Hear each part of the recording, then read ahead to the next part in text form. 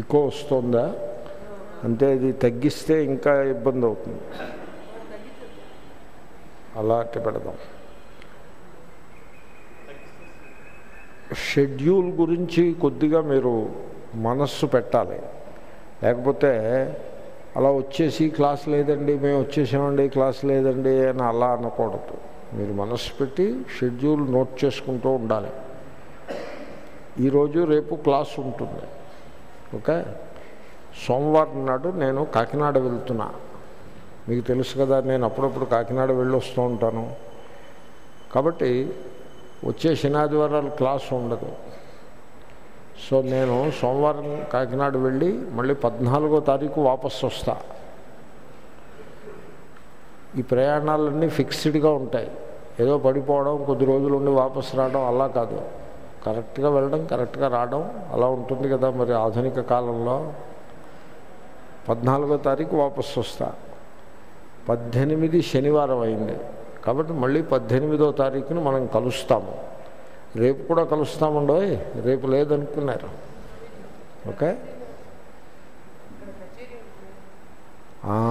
పద్దెనిమిది సాయంకాలం అది. అవును. పంతొమ్మిదిని కలుస్తాం మనం. పద్దెనిమిది కాదు. పంతొమ్మిదిని కలుస్తాం. కాకినాడ నుంచి నేను వచ్చాక పద్దెనిమిది శనివారం అయింది. ఆ రోజు కూడా ఖాళీ లేదు నాకు. పంతొమ్మిదిని కలుస్తాం. మీరు సమయానికి గుర్తు చేశారు. వెరీ నైస్ వచ్చేస్తే తేడా వస్తుంది. ఇబ్బంది అవుతుంది. ఈవినింగ్ పెట్టారా? ఓకే. ఈవినింగే ఉండాలేమో కదా అది? ఓకే. అవును అవును. ఐ అండర్స్టాండ్ కాబట్టి ఈవేళ క్లాసు రేపు క్లాసు మళ్ళీ పంతొమ్మిది జూలై క్లాస్ ఉంటుంది. ఆ తర్వాత ఇంకా కంటిన్యూస్గా క్లాసెస్ ఉంటాయి. ఈ సీజను నేను ఆగస్టు పదకొండున అమెరికా వెళ్తాను.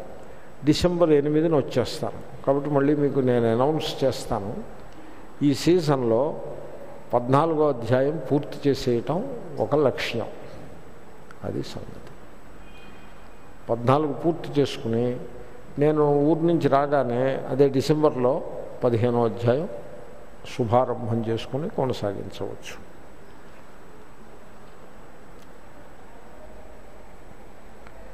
ఓం శ్రీ గురుభ్యో నమ. హరి ఓం. శ్రుతిస్మృతిపురాణానామాలయం కరుణాలయం నమామి భగవత్పాదశంకరం లోకశంకరం సమదుఃఖసుఖస్వస్థ.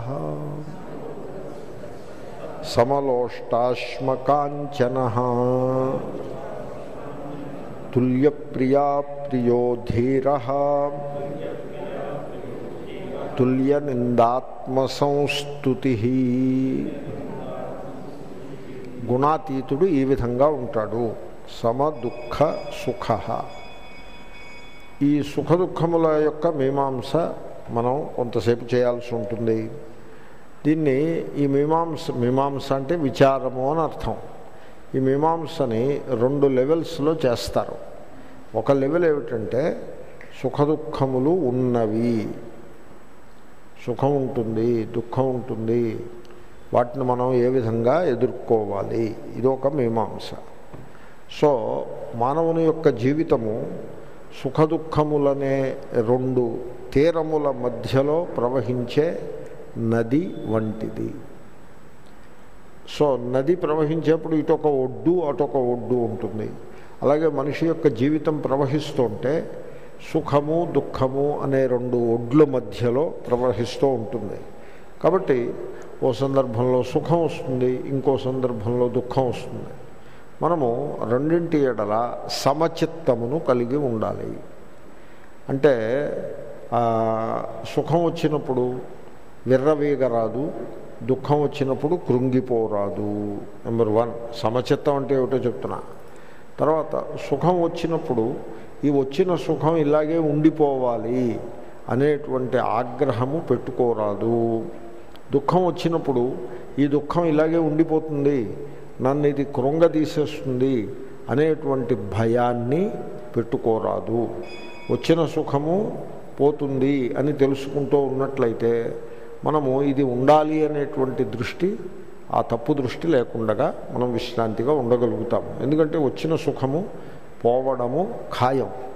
అలాగే దుఃఖం వచ్చినప్పుడు అబ్బో ఇంత పెద్ద ఆపద వచ్చేసింది దుఃఖం వచ్చేసింది ఈ దుఃఖం ఇలాగే ఉండిపోతుంది మనం జీవితంలో ఇంకా దీని నుంచి బయటపడలేము అనేటువంటి నిస్పృహ నిరాశ తగదు.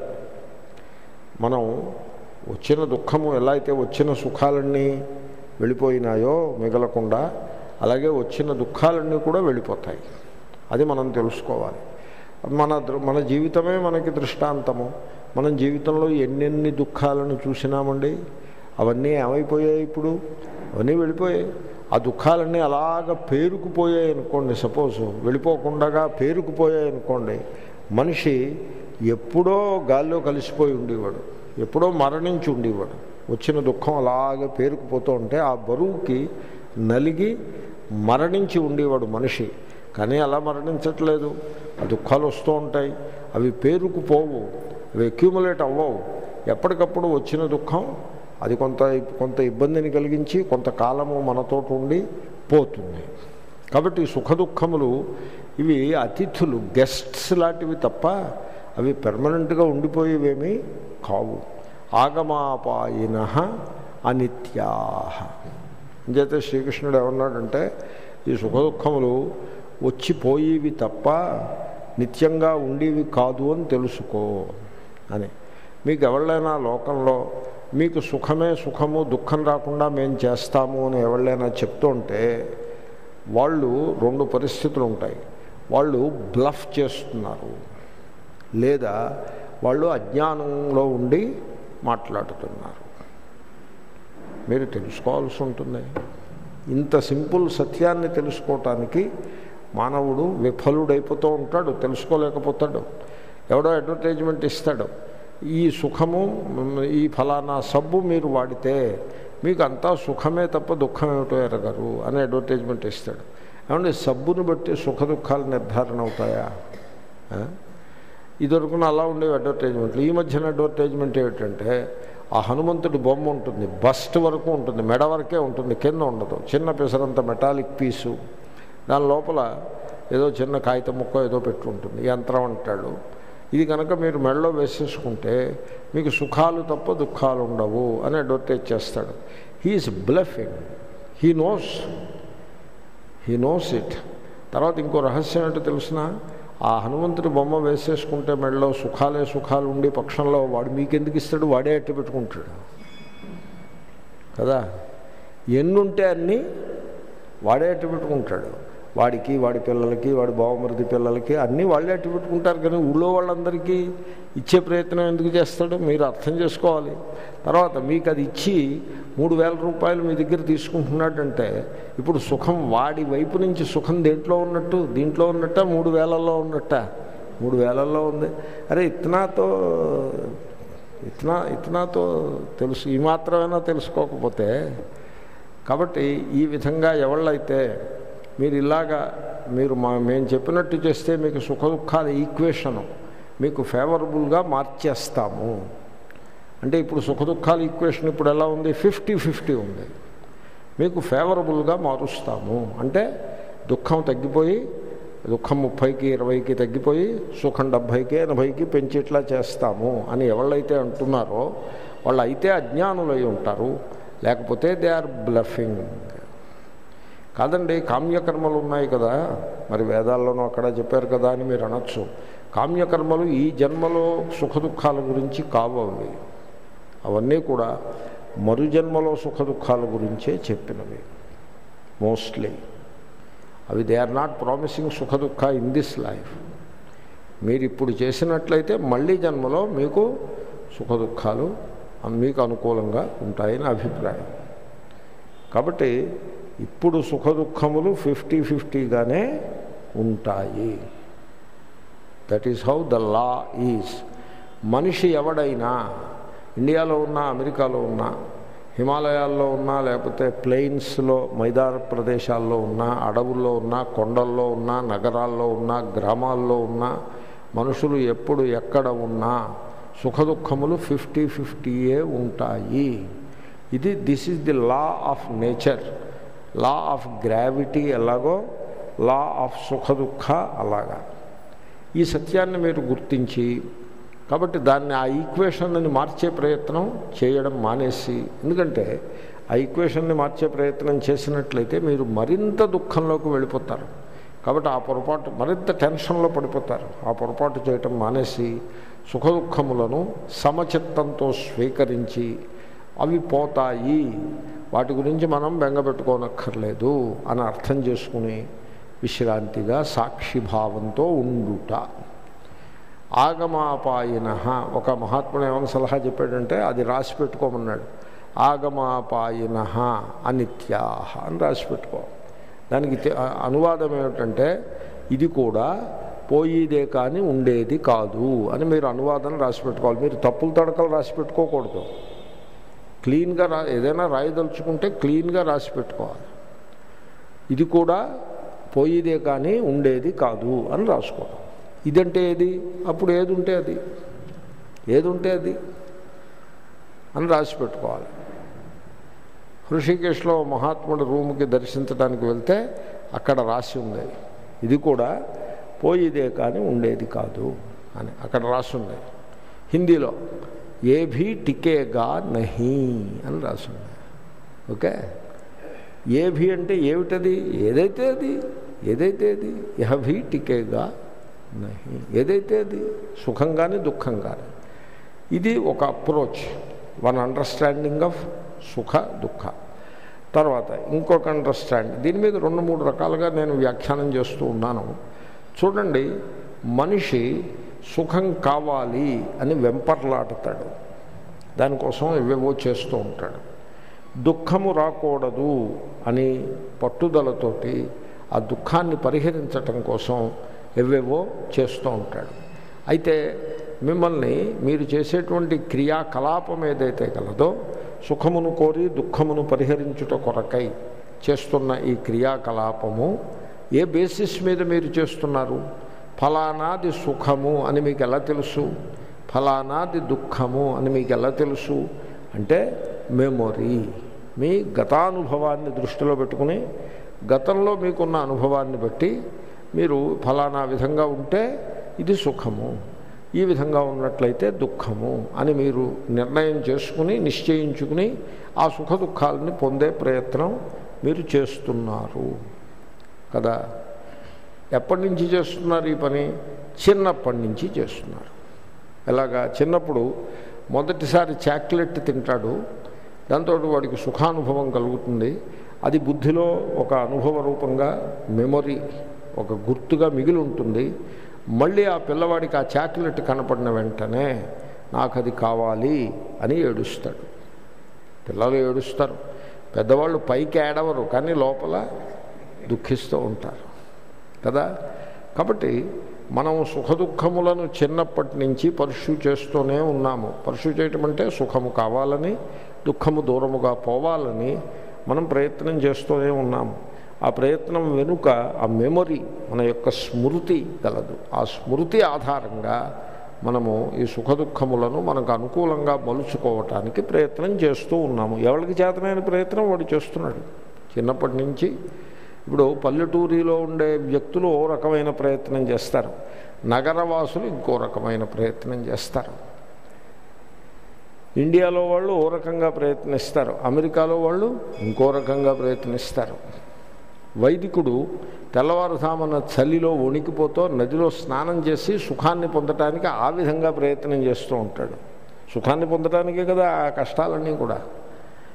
మోడర్న్ పెర్సను చక్కగా ముసుగు వేసుకుని నిద్రపోతూ గురుబెట్టి నిద్రపోతూ సుఖాన్ని పొందే ప్రయత్నం అతను చేస్తాడు. ఎవడు ఎవడికి చేతనైన విధంగా వాళ్ళు ప్రయత్నాన్ని చేస్తూ ఉంటారు. మంచిది. ఇప్పుడు ప్రశ్న. మీ ప్రయత్నంలో మీరు సఫలమయ్యారా? అన్నది ప్రశ్న. ఆలోచించుకోవాలి. జీవితాన్ని చదవాలి. జీవితం అనే పుస్తకాన్ని చదవాలి. ఊరికే గుడ్డెద్దు చేలోబడ్డట్టుగా జీవితంలో ముందుకు వెళ్ళకూడదు. కాబట్టి మీరు సఫలమైనారా? దట్ ఈస్ ది క్వశ్చన్ డబ్బు సంపాదిస్తే సుఖం వస్తుంది. సంపాదించారు. సుఖ సుఖం వచ్చిందా? సఫలమైనారా? భోగ సాధనాల్ని ప్రోగు చేస్తే సుఖం వస్తుంది. ప్రోగు చేసినారు. భోగ మీకు సుఖం వచ్చిందా? కామ్యకర్మలను చేసినట్లయితే సుఖం ఇది ఇది ఒక దండయాత్ర. అర్థకామాల మీదే కాకుండా కొంత రిలీజియస్ అప్రోచ్ మీద కూడా కొంత దండయాత్ర లేకపోతే అది వేదాంతమే కాదు. మీరు కామ్యకర్మలు చేశారు. ఈ కామ్య ఈ కర్మ చేస్తే ఆ ఫలం వస్తుంది ఆ మంత్రం జపిస్తే ఈ సుఖం వస్తుంది ఈ యంత్రం మెళ్ళ వేసుకుంటే ఆ లాభం కలుగుతుంది ఆ తాయెత్తు కట్టుకుంటే ఈ సుఖం వస్తుంది అని మీకు చేతలైన ఘనకార్యాలన్నీ మీరు చేశారు. మీరు సఫలమైనారా? I'm challenging you did you succeed no? మీరు ఈ మఠాలు పీఠాలు దేవాలయాలు తీర్థయాత్రలు నదీ స్నానాలు వీటన్నిటినీ సుఖము కోరి దుఃఖాన్ని పరిహరించడం కోసం చేశారు. మీరు సఫలమైనారా? డిడ్ యూ దాన్ని బట్టి మీకు ఏమర్థం అవుతుంది నాకు అర్థమైంది చెప్పంటారా మీకు స- మీకు ఒక జీవిత రహస్యం చెప్తున్నా. మీరు ఏం చేస్తారంటే మీరు అన్నీ చేయండి మీరు పూజలు చేయండి తీర్థయాత్రలు చేయండి వ్రతాలు చేయండి దానాలు ఎన్ని చేయాలనుకుంటే అన్ని చేసుకోండి. కానీ ఎప్పుడూ సుఖాన్ని అన్వేషించే ప్రయత్నం మీరు చేయవద్దు. దుఃఖాన్ని పరిహరించే ప్రయత్నం చేయవద్దు. ఏమంటే ఆ చేయకపోతే ఏమవుతుందేమో? ట్రై చేసి చూడండి. ట్రై చేసి చూడండి. ఇంతవరకు ఒక జీవిత కాలాన్ని సుఖాన్ని పట్టుకోవడానికి దుఃఖాన్ని త్రోసివేయటానికి మీరు ప్రయత్నం చేశారా లేదా? అది మీరు సఫలము కాలేదా ప్రయత్నంలో? మై ఛాలెంజ్ ఇట్ ఈస్ ఇప్పుడు you try the opposite you try ఏమిటి ఆపోజిట్ ఇంక ఈ పైన నేను ఏ పని చేసినా ఈశ్వరార్పణ బుద్ధితో చేస్తాను తప్ప నాకు ఈ సుఖం కావాలి నాకు ఆ భోగం కావాలి అనే దృష్టితో నేను చెయ్యను. ఈ దుఃఖం నా మీద వచ్చి పడిపోతుందేమో అని భయపడిపోయి భయాల మీద ప్రేరితమయ్యి కర్మలను చేసే పని నేను చెయ్యను వచ్చి పడితే పన్నే.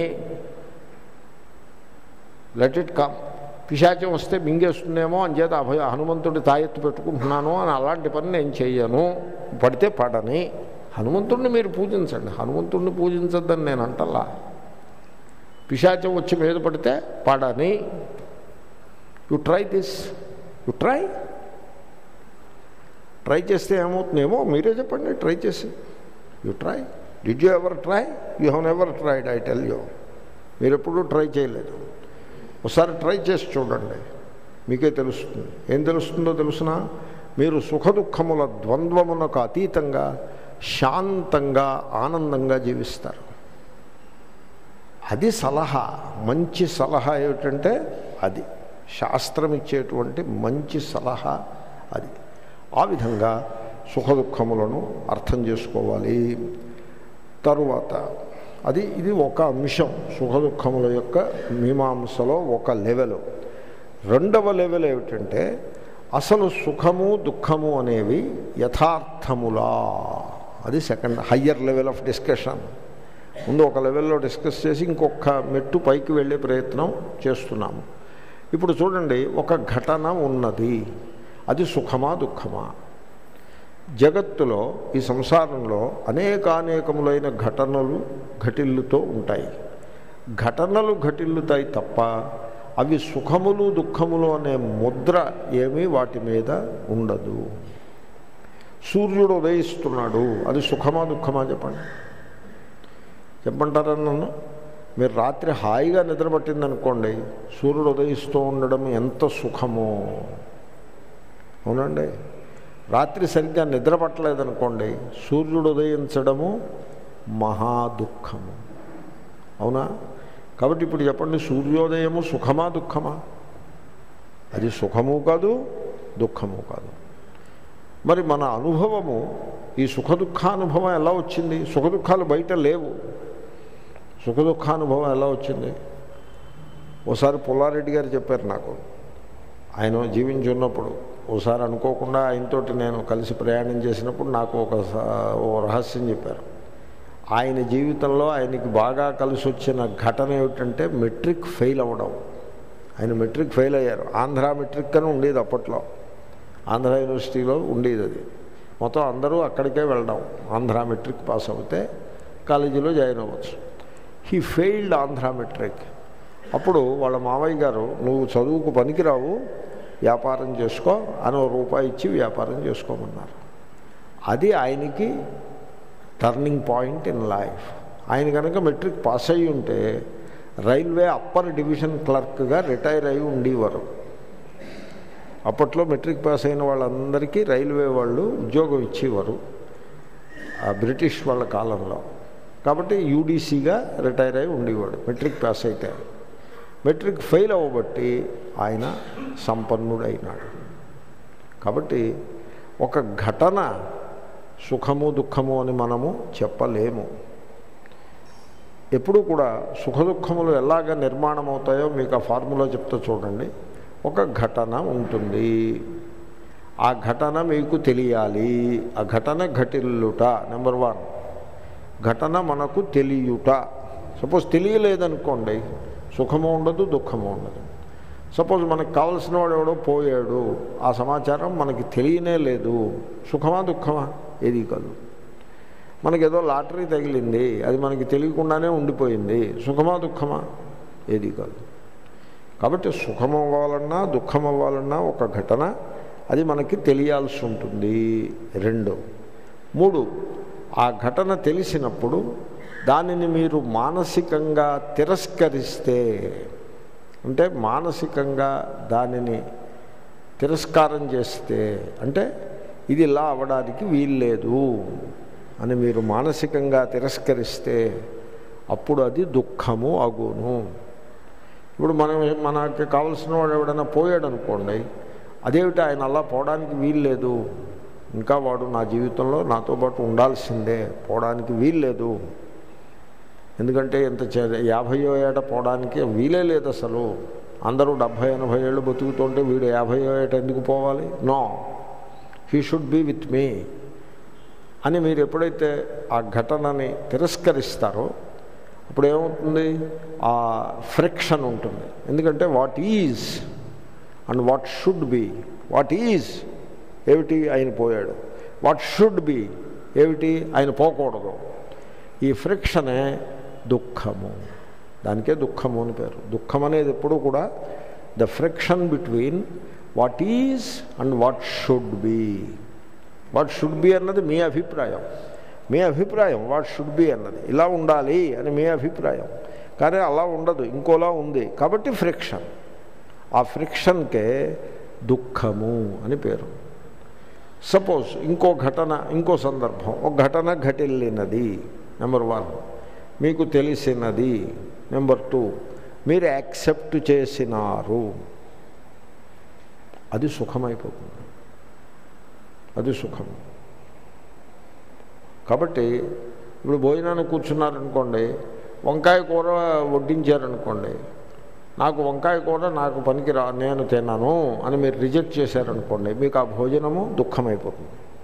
అలా కాకుండా వాళ్ళు వడ్డించింది వంకాయ కూర కనుక నేను దానిని ఇష్టపడుతున్నాను. వాళ్ళు అది వడ్డించినప్పుడు మరి మీరు ఇష్టపడకపోతే అని మీరు కనుక మీ మనస్సుని మీరు నచ్చజెప్పుకుని నేను దీనిని ఇష్టపడుతున్నాను అని మీరు నచ్చజెప్పుకున్నారనుకోండి అప్పుడు అది సుఖమైపోతుంది. స్వామీజీ మీరు చపాతీ ఇష్టపడతారా? స- రైస్ ఇష్టపడతారా? అని అడిగారు నన్ను ఒకరు. అంటే నేనున్నా నేను సమాధానం చెప్పలేదు. అలాంటి ప్రశ్నలకి సమాధానం చెప్పను నేను. నేనున్నాను ఏముందండి అని అడిగాను. అంటే రైస్ ఉందండి అన్నారు. నేను రైస్ అంటే చాలా ఇష్టపడతాను అని చెప్పాను ఇప్పుడు రైస్ ఉన్నప్పుడు నన్ను అలాంటి ప్రశ్న అడగడం ఎందుకు అనవసరం కదా? తప్పు కదా? అలా అడగకూడదు కదా?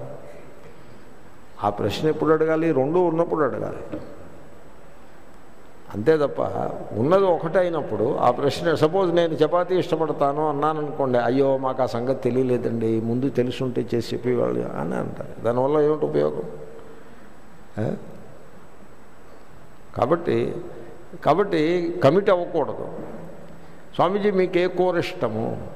భోజనం వడ్డించి ముందు.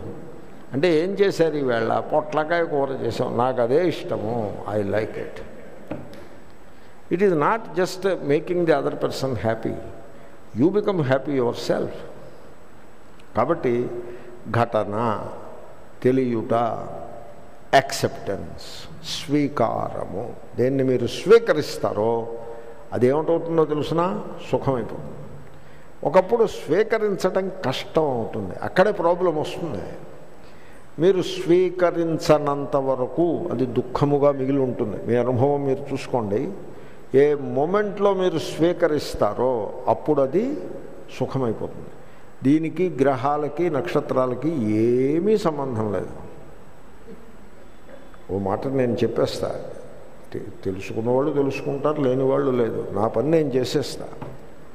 ఎందుకంటే ఒక సాధు జీవితంలో దాచిపెట్టకూడదు. ఉన్నది సత్యాన్ని చెప్పేసేయాలి. ఏమీ సంబంధం లేదు. కాబట్టి ఇప్పుడు ఎవరో పోయారు. అదేమిటి పోవడానికి వీరు లేదు నాకు నాతో పాటుగా ఉండాల్సిందే. నాతో మాట్లాడుతూ ఉండాలి నా చుట్టూ ఉండాలి నాతో పాటు ఉండాల్సిందే. పోవడానికి వీరు లేదు దుఃఖిస్తూ ఉంటారు. ఇలా కొట్టుకుని దుఃఖిస్తారు లేకపోతే కొంతమంది సైలెంట్గా దుఃఖిస్తారు దుఃఖిస్తూ ఉంటారు. పది రోజులు అయింది ఇంకా దుఃఖిస్తూనే ఉన్నారు. నెల రోజులు అయింది దుఃఖం తగ్గింది. అంటే అర్థం ఏంటి? ఆ రిజెక్షను బాగా తగ్గిందన్నమాట. గుర్తొచ్చినప్పుడల్లా దుఃఖిస్తున్నారు. ఇదివరకున్న రోజంతా దుఃఖించేవారు ఇప్పుడు ఎప్పుడు గుర్తొస్తే అప్పుడు దుఃఖిస్తున్నారు. మూడు నెలలు అయింది గుర్తొచ్చినప్పుడు కూడా తక్కువ బాగా దుఃఖించడం మానేశారు. అంటే రిజెక్షన్ పోయిందనమాట మూడేళ్ళు అయినప్పుడు ఆయన ఫోటో పెట్టుకుని వీరు ఫలానా వారండి మా బంధువండి అని నవ్వుతో చూపిస్తారు. ఇంటికి వచ్చిన వాళ్ళకి నవ్వుతో చూపిస్తారు. ఈ రోజుని మా నాన్న తద్దినవండి వేళ అని ప్రేమగా చెప్పుకుంటారు. మా నాన్న తద్దినం చెల్లెళ్ళు అప్ప చెల్లెళ్ళు అన్నదమ్ములు అందరూ కలిసి ఏమిట్రా ఇంత ఉత్సాహంగా ఉన్నారంటే ఈ ఉత్సాహం ఏమిటో మా నాన్న తద్దినండి అని ఉత్సాహంగా చెప్పు అంటే ఏమైంది అక్కడికి? అది ఆ దుఃఖమే న్యూట్రలు సుఖము అయింది. అది అలా ఎందుకయింది యాక్సెప్టెన్స్. యాక్సెప్టెన్స్కి టైం ఎంత పట్టింది? మూడేళ్ళు పట్టింది. సపోజ్ మీరు ఏడాదిలో యాక్సెప్ట్ చేశారనుకోండి అప్పుడు దుఃఖం ఎంతకాలం ఉంటుంది? ఏడాది ఉండి తర్వాత సుఖం. సపోజ్ మూడు నెలల్లో యాక్సెప్ట్ చేశారనుకోండి అప్పుడు దుఃఖం ఎంతకాలం ఉంటుంది? మూడు నెలలు ఉండి తర్వాత సుఖం. మూడు రోజుల్లో యాక్సెప్ట్ చేశారనుకోండి మూడు రోజులు దుఃఖము తర్వాత సుఖము. మూడు గంటల్లో యాక్సెప్ట్ చేశారనుకోండి మూడు గంటల సుఖము తర్వాత మూడు గంటల దుఃఖము తర్వాత సుఖము. ఏదైనా అంతే సుఖమే దుఃఖమైపోతుంది. దుఃఖము సుఖమైంది కదా సుఖం దుఃఖం అవుతుంది ఎలాగా మీరు మారుతి కారు ఒకటి కొన్నారు. అది మూడు నెలల వరకు స్మూత్గా పయనిస్తూ ఉంటుంది. పూర్వకాలపు మారుతి డబ్బారేకుల సుబ్బారాయుడు అన్నట్టుగా అది డబ్బ డబ్బ డబ్బలాడుతూ ముందుకి వెనక్కి వెళ్తూ ఉంటుంది. పూర్వకాలం అలా ఉండేది ఇప్పుడు బాగుండి ఉంటాయి పూర్వకాలం మీ కారు గురించి అంటలేదు నేను ఏదో I imagine a car and I'm talking about that మీ కార్లు బాగానే ఉన్నాయి. సో ఆ మారుతి ఏదో కొనుక్కుని అది చాలా సుఖపడుతూ ఉండేవాడు. అది ఓ ఏడాది అయ్యేప్పటికీ రంగు పోయింది సొట్టలు పడ్డాయి. దాని మీద వీడికి ఇంట్రెస్ట్ పోయింది. It has become there is an expression for it మీరు ఆ ఎక్స్ప్రెషన్ అర్థం చేసుకుంటారని నేను ఆశిస్తున్నాను. It becomes a part of our monotonous existence అంటే సుఖ ఆనందం అంటే ఏమిటో తెలియని ఆ సంసార ప్రవాహంలో పడి కొట్టుకుపోతున్నాం మనం. మనతో పాటుగా ఆ మా ఆ మారుతి కారు కూడా మనతో పాటే కొట్టుకొస్తోంది. That is the meaning of what I'm saying that is what happened కాబట్టి ఇప్పుడు ఇంకా దానివల్ల వచ్చి సుఖమేమీ లేదు. దాన్ని అప్పుడప్పుడు మెకానిక్ దగ్గరికి తీసుకువెళ్ళినప్పుడల్లా బాగా గట్టిగా దుఃఖం కలుగుతూ ఉంటుంది. మూడో ఏడాది వచ్చేప్పటికి మెకానిక్ గుర్తొస్తేనే దుఃఖం కలుగుతుంది. మెకానిక్ బిల్లు చేతికి ఇచ్చాక దుఃఖం కాదు. మెకానిక్ గుర్తు రాగానే అమ్మో మళ్ళీ మెకానిక్ దగ్గరికి వెళ్తుంది ఇది. మళ్ళీ ఈ పార్ట్ అంటాడు ఆ పార్ట్ అంటాడు. Mechanics are as a class they are cheats as a class ఫలానా వాడు చీటు ఫలానా వాడు చీట్ అని కాదు. As a class they are cheats mechanics కాబట్టి అది గుర్తొచ్చినప్పుడల్లా దుఃఖం కలుగుతుంది. ఈ కారు వదిలించుకోవాలి. అంటే ఏమైంది? ఇప్పుడు ఆ సుఖము దుఃఖమైపోయింది. కాబట్టి సుఖ దుఃఖములనేవి దే ఆర్ నాట్ ఆబ్జెక్టివ్. అలాంటివేమీ సృష్టిలో లేవు. They are entirely subjective. చూడండి మీకు రహస్యం చెప్తా. మీరు సుఖం అనుకుంటే సుఖం దుఃఖం అనుకుంటే దుఃఖం. ఏమీ అనుకోకపోతే ఏమీ కాదు. ఏమీ అనుకోకపోతే ఏమీ కాదు. ఒక ఆయన పోయారు. అయ్యో పాపం మనతో పాటు ఉండేవారు. అప్పుడప్పుడు మనకి మార్గదర్శనం చేస్తూ ఉండేవారు. మహాత్మ గొప్పవారు. పోయారు. అయ్యో పాపం అనుకున్నాం. దుఃఖం. పాపం చాలా పెద్ద వయస్సు వచ్చేసింది. కదలలేకపోతున్నారు. చాలా దుఃఖపడుతున్నారు. చాలా క్లేశాన్ని అనుభవిస్తున్నారు. ఏమిటో ఈ ఈ క్లేశానికి ఒక ఫుల్ స్టాప్ పడింది తెర దిగింది. అని అనుకుంటే సుఖం. అమ్మయ్య పోన్లేండి ఎంత కష్టపడుతున్నారో? ఆ కష్టం ఎండ్ అయిపోయింది కదా. అని అనుకుంటే ఏమైంది అది సుఖం. మీకు రహస్యం చెప్తున్నా. మీరు సుఖం అనుకుంటే సుఖం దుఃఖం అనుకుంటే దుఃఖం. ఇది మీ అనుకోవడాన్ని బట్టి ఉంటుంది. మీ మనస్సును బట్టి ఉంటుంది. కాబట్టి సుఖదుఖములు బయట ఉండవు. మీ మనస్సు సుఖదుఖములను నిర్మాణం చేస్తూ ఉంటుంది. మీ మనస్సు నిర్మాణం చేస్తుంది. కాబట్టి సుఖదుఖములు పెర్మనెంట్గా బయట ఉంటాయి. వాటిని ఇతర జనులు నిర్ధారిస్తారు. లేకపోతే గ్రహాలు నిర్ధారిస్తాయి. లేకపోతే నక్షత్రాలు నిర్ధారిస్తాయి. లేకపోతే అంకెలు నిర్ధారిస్తాయి. లేకపోతే అక్షరాలు నిర్ధారిస్తాయి అని మీరు అనుకుంటున్నారంటే మీకు జీవితం యొక్క రహస్యం తెలియలేదని అర్థం. ఎప్పుడైతే ఈ సత్యం అర్థమైనదో మీరేమైపోతారు మీకు ఏమైపోతుందో తెలిసిన ఈ సుఖ దుఃఖముల ద్వంద్వం నుండి మీరు పైకి వెళ్ళిపోతారు. సమ uh, దుఃఖ సుఖ they are not they are not important anymore సుఖ ఈజ్ నాట్ సుఖ. ఆఫ్టర్ ఆల్ దుఃఖ ఈజ్ నాట్ దుఃఖ. After all both are states of mind అనేటువంటి సత్యం ఎప్పుడైతే అనుభవానికి వచ్చిందో ఆ మనస్సాక్షిగా మిగిలిపోతారు. మిమ్మల్ని సుఖ దుఃఖాలు మిమ్మల్ని ఏమీ చెయ్యవు. కాబట్టి ఈ విధంగా మీరు సమదుఃఖ సుఖ మీకు ఇంకో రహ ఈ సుఖ దుఃఖ మీమాంస చాలా లోతైన మీమాంస. ఇది మీకు అన్ని సందర్భాల్లోనూ రాదు. వచ్చినప్పుడు దాన్ని థరోగా చెప్పాలి అని అనిపిస్తుంది. ఎందుకు చెప్పాలనిపిస్తుందో తెలిసిన? అదేదో పాండిత్య ప్రకర్షణ చూపించడానికని కాదు. జనుల యొక్క సంసారం కొంచెం తేలిక పడుతుందేమో అని ఒక ప్రేమ అంతే. ఇది labour of love. There is nothing else in it ఎందుకంటే జనులు సంసార దుఃఖాన్ని అనుభవిస్తూ ఉంటారు. చాలా మూర్ఖంగా ఉంటారు. ఓవైపు దుఃఖాన్ని అనుభవిస్తూ ఉంటాడు.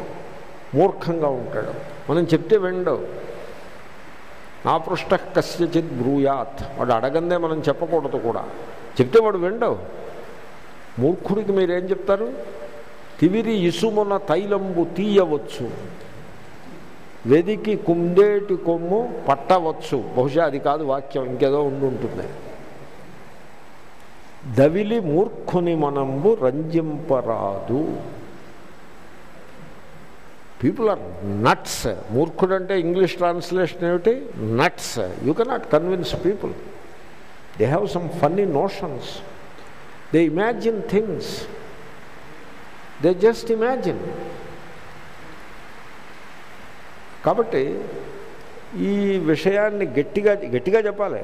నేను మొహమాట పడుతో గడ్డం పట్టుకు బతిమలాడినట్టుగా నేను చెప్తే అది మిమ్మల్ని కన్విన్స్ చేయలేను నేను. నేను ఎలా చెప్పాలంటే ఢంకా బజాయించి చెప్పాలి. Then only it can enter in to your understanding hopefully కాబట్టి మీకు సుఖం గురి సుఖ దుఃఖాల గురించి ఇంకో రహస్యం చెప్తున్నాను చూడండి మీరు సుఖాన్ని పట్టుకుంటున్నంత కాలము దుఃఖం మిమ్మల్ని విడిచిపెట్టదు. మిమ్మల్ని విడిచిపెట్టదంతే.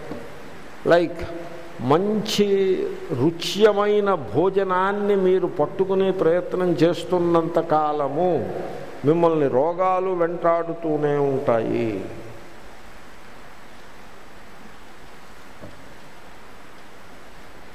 మంచి ఫ- స్ప్రేలు ఫ్రాగ్రెన్సెస్ పరిమళములు ఇవన్నీ మీరు బాగా ఖరీదైనవి కొనుక్కొచ్చి వాడుతూ ఉంటే కొంతకాలానికి మీకు ఆస్థమాటిక్ ప్రాబ్లమ్స్ బ్రాంకియల్ ప్రాబ్లమ్స్ వచ్చి తీరుతాయి.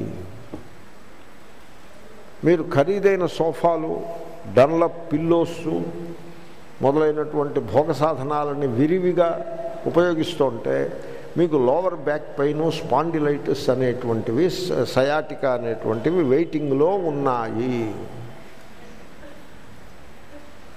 ఏమనుకుంటున్నారు? మానవ జీవితం అంటే తమాషా అనుకుంటున్నారా ఏమి? నేచర్ నేచర్ గురించి మీకు రహస్యం చెప్తా. Nature is the most indifferent and most unforgiving nature. Most indifferent. అంటే అలాగా ఓ మహాత్ముడు ఉన్నాడు.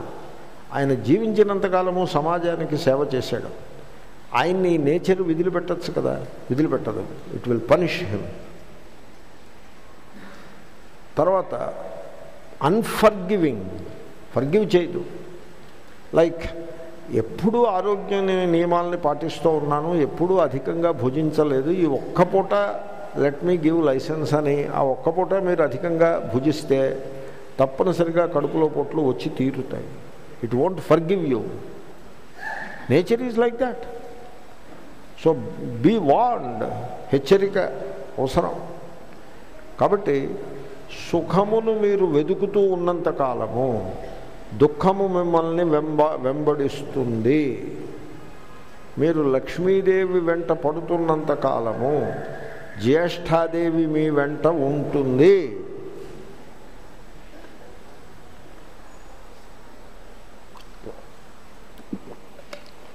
మీరు లక్ష్మీదేవికి దండం పెట్టి అమ్మా నీ దయ నేను వెళ్ళొస్తా. అని మీ దారిని మీరు పోతుంటే ఆవిడ కొంచెం దూరంగా ఉంటుంది. మీకేమీ లోటు ఉండదు. జ్యేష్ఠాదేవి కూడా దూరంగానే ఉంటుంది. వీడొద్దులే మనకు. నేను I'm trying to dramatize it. మీరు యూ బికమ్ ఫ్రీ ఫ్రమ్ సుఖ. Become free. అంటే ఏమిటి? అదొక యాటిట్యూడ్. అంటే అర్థం ఏమిటి మీరు ఒక రోజులో సుఖమును కోరి ఏమీ చెయ్యరు. ఇన్ ఎ గివెన్ డే సుఖమును కోరి పర్టికులర్గా ఒక సుఖాన్ని కోరి మీరు ఏ పని చేయరు చాలా పనులు చేస్తూ ఉంటారు. పర్టికులర్గా ఒక సుఖాన్ని కోరి ఏ పని చేయరు. ఇప్పుడు వంట వండుకుని భోజనం చేస్తారు. ఎందుకంటే దేహధారణ దేహాన్ని నిలబెట్టాలి ఆకలి వేసినప్పుడు రెండు మెతుకులు తిని విశ్రాంతిగా ఉండాలి. కాబట్టి వంట వండుకుని భోజనం చేస్తారు. అంతే తప్ప ఈ వంట ద్వారా ఈ భోజనం ద్వారా నేను భోగ సుఖాన్ని అనుభవించాలి. అని కనుక మీరు సుఖాన్ని పట్టుకుంటే రోగములన్నీ మన దగ్గరే ఉంటాయి. Diabetes is just waiting there diabetes is just in waiting మీకు బ్రేక్ఫాస్ట్ ఏమిటి? ఇడ్లీ దోశ కార్బోహైడ్రేట్స్ లంచ్ ఏమిటి? అన్నము చపాతి కార్బోహైడ్రేట్ పలహ రాత్రి పలహారం ఏమిటి? ఉప్పు పిండి చప్పిడి పిండి ఉప్మా. కార్బోహైడ్రేట్. మీరు మొత్తం ఫుడ్ అంతా మధ్యలో స్నాక్స్ ఏమిటి? చెగోడీలును జంతికలును. కార్బోహైడ్రేట్స్. మొత్తం ఫుడ్ అంతా కార్బోహైడ్రేటే. బతుకున్నంత కాలము కార్బోహైడ్రేటే. Diabetes is waiting to strike. Anyway so coming back to the point. సుఖమును మీరు అన్వేషించడం మానేస్తారు. మీరు అన్ని పనులు చేసుకుంటూ ఉంటారు. ఏ పని ఒక ప్రయోజనాన్ని అపేక్షించి ఓ పని చేస్తారు. వంట వండుకుంటారు. ఎందుకంటే వండుకుని భోజనం చేసి జీవనయాత్ర సాగించాలి కాబట్టి వంట వండుకుంటారు. దాహం వేస్తే మంచినీళ్ళు తాగుతారు. ఎందుకంటే దాహం ద్వారా సుఖాన్ని మీరు కోరటం లేదు. దాహం ద్వారా సుఖాన్ని కోరితే ఏం చేస్తారు? కోక్ తాగుతారు. కోక్ తాగితే బై డయాబెటీస్ వస్తుంది. అలా కాకుండా దాహం వేసింది మంచినీళ్ళు తాగుతారు. ఏదో ఈ పని చేసి సందర్భం వచ్చింది పని చేస్తారు. కర్తవ్య కర్మాలను చేస్తూ ఉంటారు. ఏ సుఖాన్ని కోరి ఏ పని చేయరు. సహజంగా జీవిస్తూ ఉంటారు. అంటే దీన్ని ఏమంటారంటే you become free from pleasure you become free from pleasure సుఖాన్వేషణ నుండి మీరు విముక్తులైపోతారు. ఇప్పుడు ఏమవుతుందో తెలుసునండి దుఃఖము నుండి మీరు విముక్తులైపోతారు. కాబట్టి మీరు దుఃఖం నుండి విముక్తి కావాలని కోరుకుంటే సుఖాన్వేషణను విడిచిపెట్టేసేయాలి. తద్వారా మీరు సుఖ దుఃఖములు రెండు సుఖాన్వేషణని మీరు విడిచిపెట్టారు దుఃఖాలు మిమ్మల్ని విడిచిపెడతాయి. మీరేమైపోతారు? సుఖ దుఃఖములనే ద్వంద్వమునకు అతీతంగా ఉండిపోతారు. దాన్నే సమ దుఃఖ సుఖ గుణాతీతుడు కదా. గుణములంటే సుఖ దుఃఖములు సుఖ దుఃఖములకు అతీతంగా ఉండిపోతాడు. బికాస్ ఫ్రీడమ్ ఫ్రమ్ సుఖ మీన్స్ ఫ్రీడమ్ ఫ్రమ్ దుఃఖ మీన్స్ ఫ్రీడమ్ ఫ్రమ్ బోత్ అలా కాకుండా సుఖము కావాలి అని మీరు అనుకుంటున్నంతసేపు దాని కొరకు మీరు అన్వేషిస్తున్నంతసేపు దాని వెంబడే దుఃఖము కూడా తప్పదు. నేను ఉద్యా ఒక ఉద్యానవనం పార్క్. పార్క్లో నడుస్తున్నా. నడుస్తుంటే కొంచెం ఎదుర ఒక సాధువు ఒక ఆయన కనపడ్డారు. ఎవరో ఒక సన్యాసి. సో దూరం నుంచి కనపడ్డారు. ఎవరో అనుకుంటున్నాను. ఈ లోపల అక్కడ ఒక గులాబీ మొక్క ఉన్నది. ఆయన నిలబడ్డ చోట. ఆయన ఆ గులాబీ మొక్క నుండి గులాబీ పువ్వుని ఈ తుంపినారు. తుంపి ఇలా ముక్కు దగ్గర పెట్టుకున్నారు. నేను కొంచెం ఆశ్చర్యపోయాను. ఎందుకంటే సాధువులు పువ్వుల్ని తుంపరు. అనవసరం కదా. ఆ గులాబీ అలా ఉంటే అందం తప్ప దాన్ని తుంపడం అనే పద్ధతి సరికాదు. ముక్కు దగ్గర పెట్టుకున్నారు. ఈ లోపల నేను అటే నడుస్తున్నాను దగ్గరికి వెళ్ళడం దగ్గరికి వచ్చాను. ఆయన అలా ముక్కు దగ్గర పెట్టుకుని అని అలా ఎంజాయ్ చేయబోతూ ఉండగానే ఎంజాయ్మెంట్ ఎలా ఎలా ఉంటుంది? అని అలా చిన్న చిరునవ్వు కళ్ళు కొంచెం పెద్దవై ముఖంలో ఆ సుఖము అనబోతుండగానే ఈ లోపల ఆ పువ్వు లోపల ఒక తుమ్మెద ఒక తేనెటీగ ఒక ఈగ గలదు ఓ పురుగు ఉన్నది. అది ఇక్కడ పొడిచింది.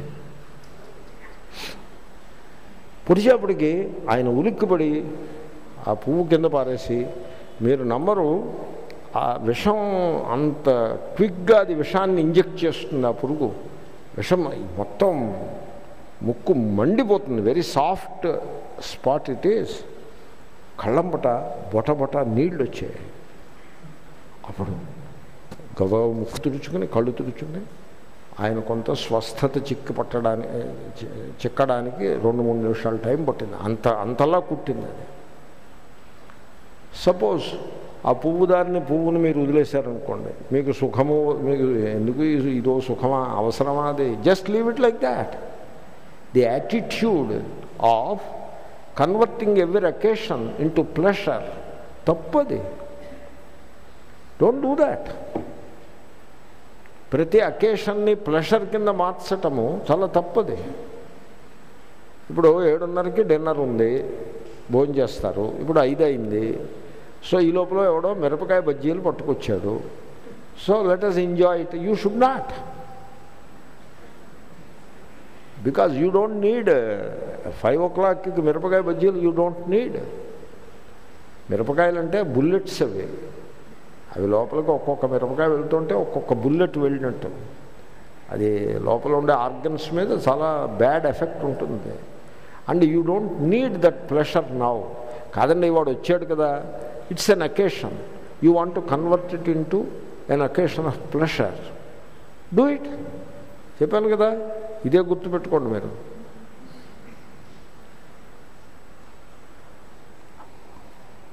ముక్కు వె- చిగురుని పొడుస్తుంది. సపోజ్ నడిచి వెళ్తూ ఉంటారు. ఆ పువ్వు యొక్క పరిమళం particularly we're not after that just leave it ఇప్పుడు ఐదు గంటలకి టిఫిన్ తినే టైం కాదు ఇది. ఈ టైంలో మైసూర్ బజ్జీలు మిరపకాయ బజ్జీలు ఇవి బజ్జీలు అనేవి అసలు దే ఆర్ డేంజరస్ ఫుడ్. ఎందుకంటే చాలా ఆయిల్ని సక్ చేస్తాయి అవి. వీ డోంట్ నీడ్ ఇట్ కొంచెం ఆకలిగా ఉండడం మంచిది. ఓ గంట పోయిన తర్వాత రెండు మెతుకులు తినచ్చు. Therefore you are not seeking pleasure you will not know what is pain అంటే సుఖ దుఃఖములనే ద్వంద్వమునకు అతీతంగా మీరు గుణాతీతులుగా ఉండగలుగుతారు. కాబట్టి ఈ గుణాతీత అన్నది ఎవరికో వశిష్ఠుడికో వామదేవుడికో హిమాలయాల్లో ఉండే సాధు సంతులకో అది అన్వయిస్తుంది అని మీరు అనుకుంటే మనం ఇక్కడ కూర్చుని భగవద్గీత చదవడం అనవసరం. ఇదో ఈ టైం వేస్ట్. ఇది మన జీవితానికి సంబంధించింది. ఇప్పుడు ఇక్కడ మీరు జీవితంలో గుణాతీతులై సుఖశాంతులతో వర్ధిల్లగలరు. సమదుఃఖ సుఖ భాష్యకారులు. సమదుఃఖ సుఖ సమే సుఖ దుఃఖ సుఖే యస్య సహా సమదుఃఖ సుఖ స్వస్థ నేను చెప్పిన మాట ఆల్రెడీ అది నేను కవర్ చేశాను. ఎప్పుడైతే సుఖ దుఃఖములనే ద్వంద్వంలోంచి మీరు బయటపడిపోతారో అప్పుడు ఏమవుతుంది? సుఖముల వెంట పరుగులు తీయడము ఉండదు. దుఃఖములను తప్పించుకునేటువంటి సమస్య ఉండదు. అప్పుడు ఎలా ఉంటారు మీరు? స్వస్థులై ఉంటారు. స్వస్థులుగా ఉంటారు. ఇప్పుడు అక్కడ ఏదో మేళా ఉందిట అని పరిగెత్తారనుకోండి. మేళా అని చెప్పేసి మీరు పరిగెత్తారనుకోండి. ఇల్లు విధులు పెట్టి ఆ మేళా అని పరుగు తీస్తారు. అక్కడికి వెళ్తే రష్ తోపులాట దుమ్ము నాయిస్ పొల్యూషను నాయిస్ పొల్యూషన్కి హెల్త్ మీద చాలా బ్యాడ్ ఎఫెక్ట్ ఉంటుంది. ఇండియన్స్ ఆ- ఆ విషయాన్ని గుర్తించినట్టు కనపడదు. ఇండియన్ సొసైటీ ఆ సెన్స్లో మెచ్యూర్ అవ్వలేదు. ఆ మెచ్యూరిటీ లేదు ఇండియన్ సొసైటీకి ఏదేదో నాయిస్ చేస్తూ ఉంటారు. అవసరం ఉన్న నాయిస్సు అవసరం లేని నాయిస్సు కూడా చేస్తూనే ఉంటారు. ఇప్పుడు రాత్రి మూడు గంటలకి బొయ్యి అని పెద్ద సైరన్ ఒకటి మోగుతుంది. ఏమిటా సైరను? మీకు ఎవరికైనా తెలుసా? ఓ అదే. ప్రతిరోజు మోగదా అదే? ఈ టైంలోనే మోగుతుందా? చూసారా? రంజాన్ పాటించే వాళ్ళు ఎవరో కొద్దిమంది ఉంటారు. మొత్తం బొయ్యి అని మోగుతుంది అది. మూడు గంటలకి మోగుతుంది. అలాగా తర్వాత నాలుగున్నర అయ్యేప్పటికీ ఇంకా మాస్కులు టెంపుల్స్ అన్నీ కూడా పెద్ద పెద్ద గోల కింద ఆ మైకులు పెట్టేస్తారు. మైకులు పెట్టేసి ఆ మైకుల్లో ఏదేదో చెప్తూ ఉంటారు. సో ఈ విధంగా నాయిస్ చాలా ఎక్కువ నాయిస్ పొల్యూషన్. రాత్రి పదకొండు గంటలకు ఊరేగింపు ఉంటుంది. ఏదో ఊరేగింపు. బాధ్యాలు. డబడబడబడబ ఓ రైము ఏమీ ఉండదు. ఊరికే మొత్తేయటమే వాటిని ఆ బాజాలని కర్రలు పుచ్చుకుని కొట్టేయటం. ఎంత ఎక్కువ ధ్వని మనం ప్రొడ్యూస్ చేయగలుగుతామో ఈ డబ్బా నుంచి? దట్ ఈస్ ది గోల్ ఆ? తర్వాత ఎలక్ట్రిక్ బోర్డు ఒకటి పెట్టి ఇది ఏవో కీ కీ కీ అని నొక్కుతూ ఉండడం. దానికి ఒక ట్యూను నా మొహం ఏమీ ఉండదు. ఇది బా ఇది ఊరేగింపు. బాణాసంచ. రాత్రి పదకొండున్నరకి ఈ కార్యక్రమం అంతా కూడా. So the society is very insensitive noise pollution యొక్క విషయం ఏమీ తెలుసున్నట్టు ఉండదు. It's a digression. Coming back to the point మీరు మేళాకి వెళ్ళారనుకోండి ఏమిటి మేళాలో? నాయిస్ పొల్యూషను దుమ్ము ధూళి తోపులాట ఉంటుంది మేళాలో. ఏముంటుంది మేళాలో? తర్వాత ఇంట్లో ఉన్నారనుకోండి ఎలా ఉంటుంది? స్వస్థ. అర్థమైందా మీకు? స్వస్థ అనే మాట కోసం చెప్పాను నేను.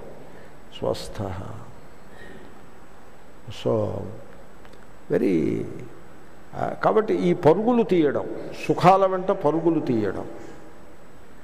సో దుఃఖాలకు దుఃఖాలతోటి సతమతమైపోతూ ఉండడం. ఎప్పుడైతే సుఖాల వెంట పరుగులు తీస్తారో దుఃఖాలతో సతమతం అవ్వడము తప్పనిసరి. మీకు చెప్పాను కదా సుఖము వెంబడే దుఃఖం ఉంటుంది దుఃఖాలతో సతమతమవుతూ ఉండడం. పని పని కట్టుకుని దుఃఖాన్ని ఏరి కోరి దుఃఖాన్ని తెచ్చుకోవడం. ఏరి కోరి. సో మొన్న ఒక అతను జ్వరం పడ్డాడు. ఊరు వెళ్ళొచ్చాడు జ్వరం పడ్డాడు. జ్వరం పడితే డాక్టర్ దగ్గరికి వెళ్తే యాంటీబయాటిక్స్ ఇస్తారు.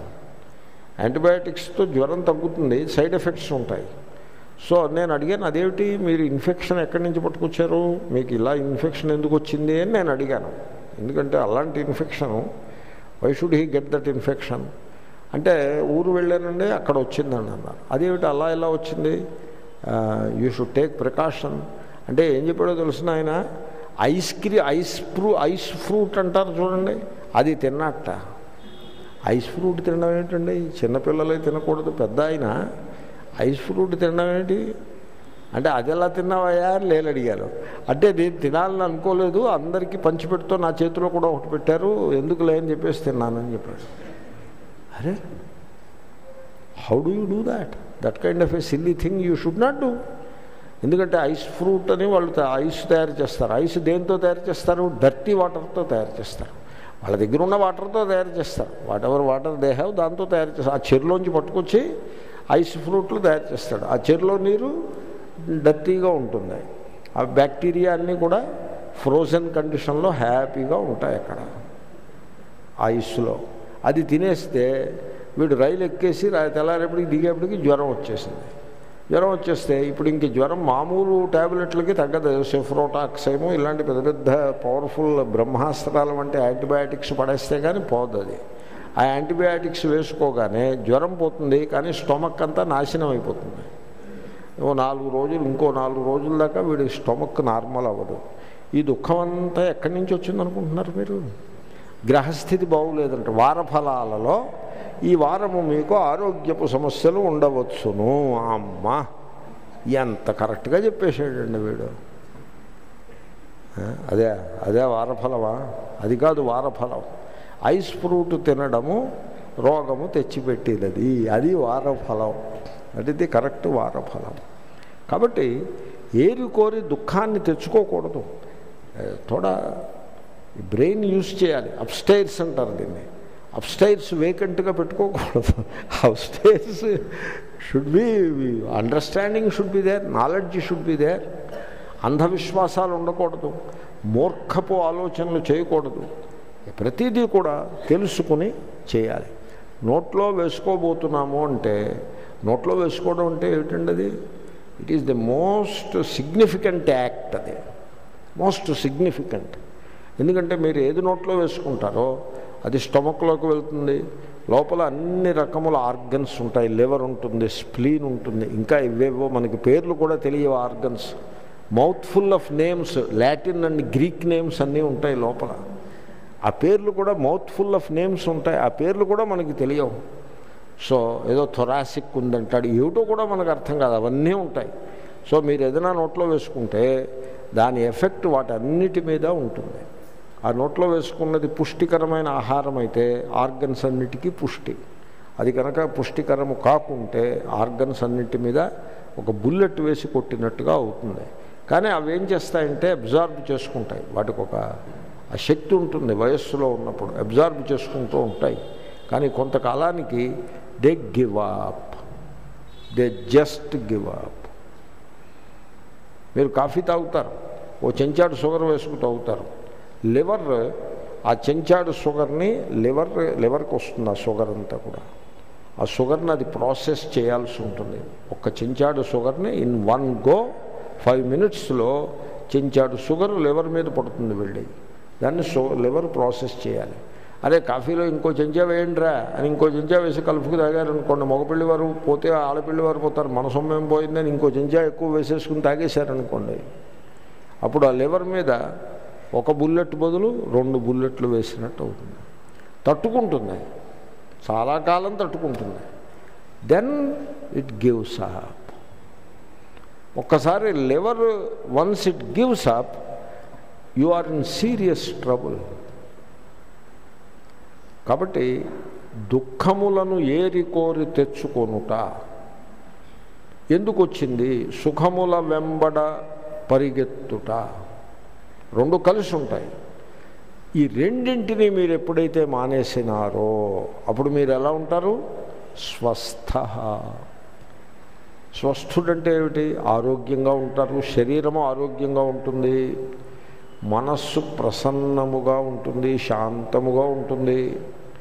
మనస్సులో కల్లోలమేమీ ఉండదు. మీరు ఆత్మనిష్ఠులై ఉంటారు గుణాతీతులుగా ఉంటారు. ఇది దేహము ఇది మనస్సు నేను చైతన్య స్వరూపుడను అని దేహంతో మనస్సుతోటి తాదాత్మ్యం లేకుండా తన స్వరూపమునందు తాను నిలిచి ఉంటాడు. ఎరుక తన స్వరూపము ఎరుక. అల్లకల్లోలంగా కదులుతూ ఉండడము మనస్సు దేహము భౌతికము ఫిజికల్. కాబట్టి నేను ఆ ఫిజికల్ అండ్ సైకలాజికల్ అనే రెండు డైమెన్షన్స్ ఏవైతే ఉన్నాయో వీటికి అతీతమైనటువంటి ఆత్మస్వరూపమునందు నిష్ఠను కలిగి ఉంటాను. అది కష్టమేం కాదు. ఇప్పుడు మీరు ఇలా కూర్చుని ఉండగానే కళ్ళు మూసుకుని మీరు ఇది దేహము. చూడండి అలాగ కళ్ళు మూసుకుని చూడండి. మీరు ప్లీజ్ డూ దాట్. కళ్ళు మూసుకుని this body and this mind అప్పుడు మీరు శాంతంగా ఉన్నారు కదా మనస్సు ఏ చ- ఆలోచనలు సంకల్పాలు ఏమీ లేవు. నేను ఉన్నాను. ఎరుక తెలుస్తూ ఉన్నాను. తెలివినై ఉన్నాను. ఇదిగో ఇది మనస్సు. ఇప్పుడు కదలడం లేదు. కదిలినప్పుడు ఏవో కదలికలు ఆలోచనలు ఉంటాయి. ఇప్పుడు ఏ ఆలోచనలు లేవు. ఇది దేహము. నేను ఉన్నాను.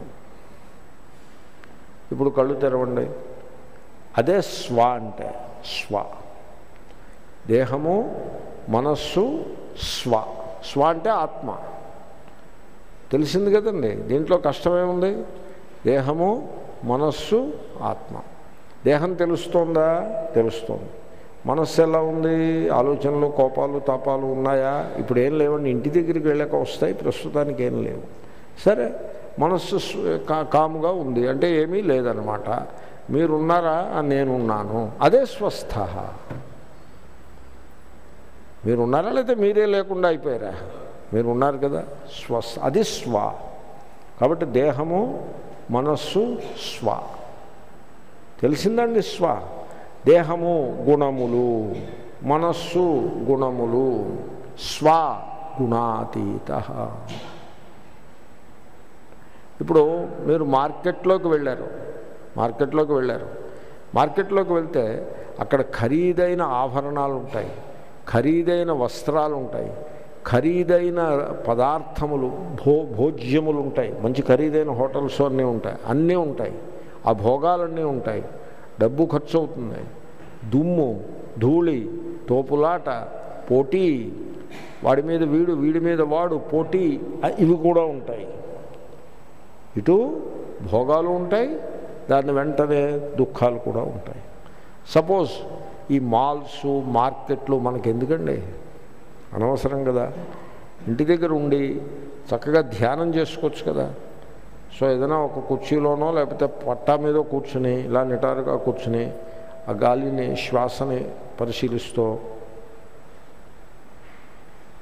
అలా ఉన్నారనుకోండి అప్పుడు ఆ మార్కెట్లో ఉన్నటువంటి ఆభరణాలు ఖరీదైన వస్త్రాలు రుచ్యములైన భోజ్యములు వాటితో పాటుగా దుమ్ము రోగాలు తోపులాట ఖర్చు డబ్బు ఖర్చు అప్పులు ఈ సుఖాలు ఉండవు ఆ దుఃఖాలు ఉండవు. మరి ఏముంటుంది?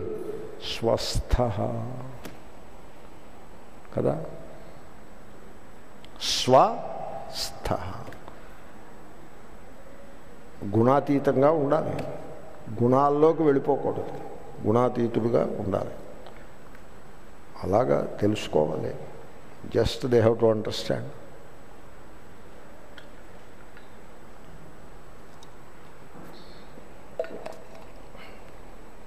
ఒక పెద్ద ఆయన హాస్పిటల్లో జాయిన్ అయ్యారు. ఏమండి అయ్యో మొన్నటిదాకా బాగానే ఉన్నారు స్వస్థంగానే ఉన్నారు ఇంతట్లోకి హాస్పిటల్ ఎందుకు అవసరమైంది? అంటే బాగానే ఉన్నారండి షిరిడి వెళ్ళారు. ఎందుకండి షిరిడి ఎందుకండి? ఎనభై ఐదేళ్ళ పెద్ద ఆయనకి షిరిడి ఎందుకు? అంటే ఆయన కాదు కొడుకులు తీసుకెళ్తే వెళ్ళారు. అరే కొడుకులకైనా తెలియద్దా? వాళ్ళు వయస్సులో ఉన్నారు వాళ్ళు షిరిడి అయినా వెళ్తారు లేకపోతే మరో చోటికైనా వెళ్తారు. ఈ ఎనభై ఐదేళ్ళు ఆయన ఏం షిరిడి వెళ్తారు? ఇన్ని మోసుకుపోయారు వీళ్ళు. సరే అక్కడ షిరిడి అంటే ఏమిటి? తోపులాట. ఈ కుర్రాళ్ళు తోసుకుంటారు తోయబడతారు వాళ్ళు తోస్తారు. ఈయన పాపం తోయలేకపోయారు తోయబడ్డారు. అన్ని కష్టాలు అయ్యి వచ్చి హాస్పిటల్లో జాయిన్ అయ్యారు. వెళ్ళకముందు ఎలా ఉన్నారు? స్వస్థ. కదా? ఇప్పుడు ఆ షిరిడీలో ఏదో దొరికేస్తుంది అని వెళ్ళి దుఃఖాన్ని అన్ని మోసుకు తెచ్చుకుని హాస్పిటల్లో ఉన్నారు. ఇప్పుడు ఇది స్వయం స్వయంకృతాపరాధమని మీకు తెలియట్లేదా? స్వస్థ స్వస్మిన్ తిష్టతి. నేను ఏవో దృష్టాంతాలు చెప్తున్నా. అంటే మీకు స్వస్థ అనే పదం మీకు బాగా తెలియాలని నా ఆకాంక్ష. అందుకోసం ఇలాంటి అనేక దృష్టాంతాలు చెప్పాను శంకరుడు స్వస్థ. స్వే ఆత్మని స్థిత ప్రసన్న. ఇప్పుడు మీరు దేహంతో ఐడెంటిఫై ఉన్నారనుకోండి దేహంతో ఐడెంటిఫై ఉన్నారనుకోండి అప్పుడు ఏమనిపిస్తుంది? ఈ దేహానికి ఈ భోగం కావాలి ఆ భోగం కావాలి అనిపిస్తుంది. లేదా దీనికి ఈ రోగమో ఆ రోగమో అని భయం వేస్తుంది. కానీ దేహం దారిని దేహాన్ని విదిలిపెట్టండి. దాన్ని మీరేమీ డిస్టర్బ్ చేయకండి. Let it go. Its way. దాని ప్రవాహంలో అది పోతూ ఉంటుంది. స్వస్థ. మనస్సుని సాక్షిగా దర్శించండి. మనస్సుతో మీరు మమేకం అవ్వద్దు. మనస్సు సుఖము ఉంటుంది సుఖం వెంటపడద్దు దుఃఖము ఉంటుంది దుఃఖం వెంటపడద్దు మనస్సుని సాక్షిగా చూడండి. ఎప్పుడైతే మీరు సుఖదుఖములకు అతీతంగా పోతారో సమదుఃఖ సుఖ అయిపోతారో అప్పుడు మీరు మనస్సుకి అతీతంగా వెళ్ళిపోయినట్టే. ఎందుకంటే మనస్సు అంటేనే సుఖదుఖములు. సుఖదుఖములు వేరు మనస్సు వేరు కాదు. మనస్సే సుఖదుఖములు. సుఖదుఖములకు అతీతుడగుట అంటే మనస్సుకు అతీతుడగుటయే. ఎప్పుడైతే మనస్సుకు మీరు అతీతుడైనారో ఇంకా ఎక్కడ ఉన్నట్టు ఇప్పుడు మీరు? గుణాతీతమైనటువంటి ఆత్మస్వరూపంలో ఉన్నట్టు. దానివల్ల ఏమవుతుందో తెలుసునండి? మనస్సు ఒక శాంత స్థితిని పొందుతుంది. మనస్సు ప్రసన్నంగా ఉంటుంది. శాంతము అయిపోతుంది మనస్సు. ఎప్పుడైతే మనస్సు శాంతముగా ప్రసన్నముగా ఉంటుందో దేహము ఆరోగ్యముగా ఉండును. మీరు అర్థం చేసుకోవాలి. దేహంలో వచ్చే అనారోగ్యాలన్నీ కూడా మనస్సు నుండి వస్తాయి. మనస్సు నుండే దేహంలోకి అనారోగ్యాలు వస్తాయి. డిసీజ్ ఈజ్ సైకోసొమాటిక్ సైకోలో ప్రారంభమయ్యి సోమా అంటే దేహము. దేహంలో ప్రకటమవుతుంది. ఆఖరికి ఇన్ఫెక్షన్స్ కూడా మనస్సు నుంచే వస్తాయి. ఐస్ ఫ్రూట్ ఎగ్జాంపుల్ చెప్పాను. అది ఐస్ ఫ్రూట్ తినడం అన్నది మనస్సులో ఉండే వీక్నెస్ కదా అది? అది మనస్సు అది మనస్సుకి ఆ వీక్నెస్ లేదనుకోండి ఐస్ ఫ్రూట్ ఇచ్చారనుకోండి ఏమిట్రా ఐస్ ఫ్రూట్ ఏమిట్రా? అదొక తిని వస్తువా? అసలు నువ్వెలా తింటున్నావు? అది శుచిగా ఉందో లేదో పరిశీలించావా? వాడెవడో డబ్బాలో పెట్టుకొచ్చాడు నువ్వు తినేయడమేనా? నువ్వు పంచి పెడుతున్నావు నలుగురికి. ఈజ్ ఇట్ వర్త్ డిస్ట్రిబ్యూటింగ్ అని అడగద్దు అని అడిగాడు అనుకోండి అప్పుడు వీడికి ఏమవుతుంది? స్వస్థ. కాబట్టి మనస్సు దేహము. మనస్సులో డిసీజ్ ఆరంభమవుతుంది దేహంలో ప్రకటమవుతుంది. మనస్సు శాంతముగా గలవాడికి దేహములో వయస్సు చేత వచ్చే మార్పులు వస్తాయి తప్ప రోగాలు రావు. అలా చిలకలాగా ఉండిపోతాడు. వయస్సు వచ్చినా చిలకలా ఉండిపోతాడు. వయస్సులో ఉన్న చిలక వయస్సు వచ్చిన చిలక. చిలక ఈజ్ అన్ ఎక్స్ప్రెషన్ చిలక అంటే యాక్టివ్గా ఉత్సాహంగా ఉంటాడు అనర్థం రోగాలు రావు. రోగాలన్నీ కూడా అల్లకల్లోలమైన మనస్సు కారణంగానే వస్తూ ఉంటాయి. కాబట్టి ప్రసన్న శాంత అంటే అర్థం ఏంటంటే ఆరోగ్యంగా ఉండువాడు అని అది ఆటోమేటిక్గా వచ్చేస్తుంది. కానీ ఇక్కడ అర్థం మటుకు దేహారోగ్యము అర్థం కాదు. దేహం ఆరోగ్యంగా ఉండడం మాత్రమే కాదు మనస్సు ప్రసన్నంగా ఉంటుంది. వీడు ఆత్మనిష్ఠుడై ఉంటాడు గుణాతీతుడు. సమలోష్టాశ్మకాంచన. The next thing it is so చూడండి మీరు వేదాంత క్లాస్ వింటున్నారు మీరు. మీరేమీ పురాణ కాలక్షేపం వింటలేదు కొంతమంది పురాణ కాలక్షేపం కోసం వస్తారు. వాళ్ళ వాళ్ళకి they cannot appreciate the depth of the topic గుణాతీత స్థితి గురించి మాట్లాడుతున్నాం. సో కాబట్టి మీరు ఆ టాపిక్ యొక్క డెప్త్ దాని గంభీరత దాని మహత్వము దాన్ని మీరు అప్రిషియేట్ చేయాలి. ఇది ఇది డైమండ్స్ యొక్క మార్కెట్ తప్ప చేపల మార్కెట్ కాదు ఇది. చేపల మార్కెట్ లేకపోతే కూరగాయల మార్కెట్ కాదు ఇది. This is a diamonds market it is Gita అంటే. నేను శ్రీరామకృష్ణ వారు దృష్టాంతం చెప్పారు. ఒక ఆయన ఒక డైమండ్ ఇచ్చి సర్వెంట్కి ఒక డైమండ్ ఇచ్చి ఆ కూరగాయల షాపు వాడికి కొనుక్కుంటాడేమో కొనుక్కోమని పంపించాడు. ఈ డైమండ్ పట్టుకుని కూరగాయల షాప్ దగ్గరికి వెళ్ళాడు. ఏమయ్యా ఇది ఇది ఏమైనా చూడు దీన్ని ఇది కొంటావా అని అడిగాడు. అంటే వాడు తిరిగి చూసి తీసి చూసుకుని పరిశీలించి రెండు కేజీల వంకాయలు ఇస్తా ఇది ఇస్తే అని చెప్పాడు. అది తెచ్చుకొచ్చేసాడు. అయిపోయింది. అతను ఆ పరీక్ష చేస్తున్నాడు అన్నమాట అక్కడే బియ్యం షాప్ ఉంది. బియ్యం అమ్ముతారు కదా ఆ షాపుకి పంపించాడు. ఈ సర్వెంట్ని. అరే వెళ్ళి ఆయనకి అమ్మడానికి చూపు అసలు ఏమంటాడో చెప్పాను అమ్మడం కాదు ఊరికే తెలుసుకురా అని. ఇది వెళ్ళాడు. ఆయన ఏమన్నాడంటే చూశాడు దాన్ని. ఇరవై కేజీల బియ్యం బస్తా ఇస్తాను అని చెప్పాడు. వాడు రెండు కేజీలు వంకాయలు ఇస్తా అన్నాడు వీడు ఇరవై కేజీల బియ్యం బస్తా ఇస్తా అన్నాడు. వెనక్కి పట్టుకొచ్చేసాడు అక్కడ జ్యువెలర్ షాప్ ఒకటి ఉంది. వాడి దగ్గరికి తీసుకెళ్ళాడు. వాడికి అమ్మ చూపాడు. వాడు చూసి లక్ష రూపాయలు ఇస్తా అన్నాడు. అంటే వెనక్కి పట్టుకొచ్చేసాడు. దాని ఖరీదు కోటి రూపాయలు. ఇది భగవద్గీత. దీన్ని మీరు వంకాయల బేరంలాగా పెట్టకండి సుమా. సమలోష్టాశ్మ కాంచన. ఇదేం పురాణం అనుకుంటున్నారా? కాదు. బంగారము మట్టిబెడ్డ రాయి ముక్క మూడు కూడా సేమ్. లోష్ట అంటే మట్టిబిడ్డ అశ్మ అంటే రాతి ముక్క కాంచన అంటే బంగారపు ముద్ద మూడు కూడా సేమ్. ఎందుకు సేమ్? మూడు కూడా ఎందుకు పనికిరానివే? ఆకలిగా ఉందండి. ఆకలిగా ఉంది. ఏదైనా ఒక కప్పు కాఫీ ఏదైనా కుకీ అలాంటివి ఇస్తే ఉపయోగపడుతుంది కానీ మట్టి బిడ్డ ఇచ్చారనుకోండి ఏం చేసుకుంటాం? ఆ మట్టి బిడ్డ? నోట్లో పెట్టుకుంటామా మట్టి బిడ్డ? లేకపోతే రాతి ముక్క నోట్లో పెట్టుకుంటామా? అయితే బంగారపు ముద్ద నగ్గెట్ అంటారు. ఓ ఇంత ముద్ద ఇచ్చారనుకోండి నోట్లో పెట్టుకుంటామా అది? ఎందుకు పనికి వస్తాయి అవి? ఎందుకు పనికిరావు? కాఫీతో పాటుగా మట్టి బిడ్డ ఇవి ఇస్తారా? రాతి ముక్కిస్తారా బంగారపు ముద్ద ఇస్తారా? లేకపోతే ఒక కుకీ ఇస్తారా? ఒక కుకీ ఇస్తారు.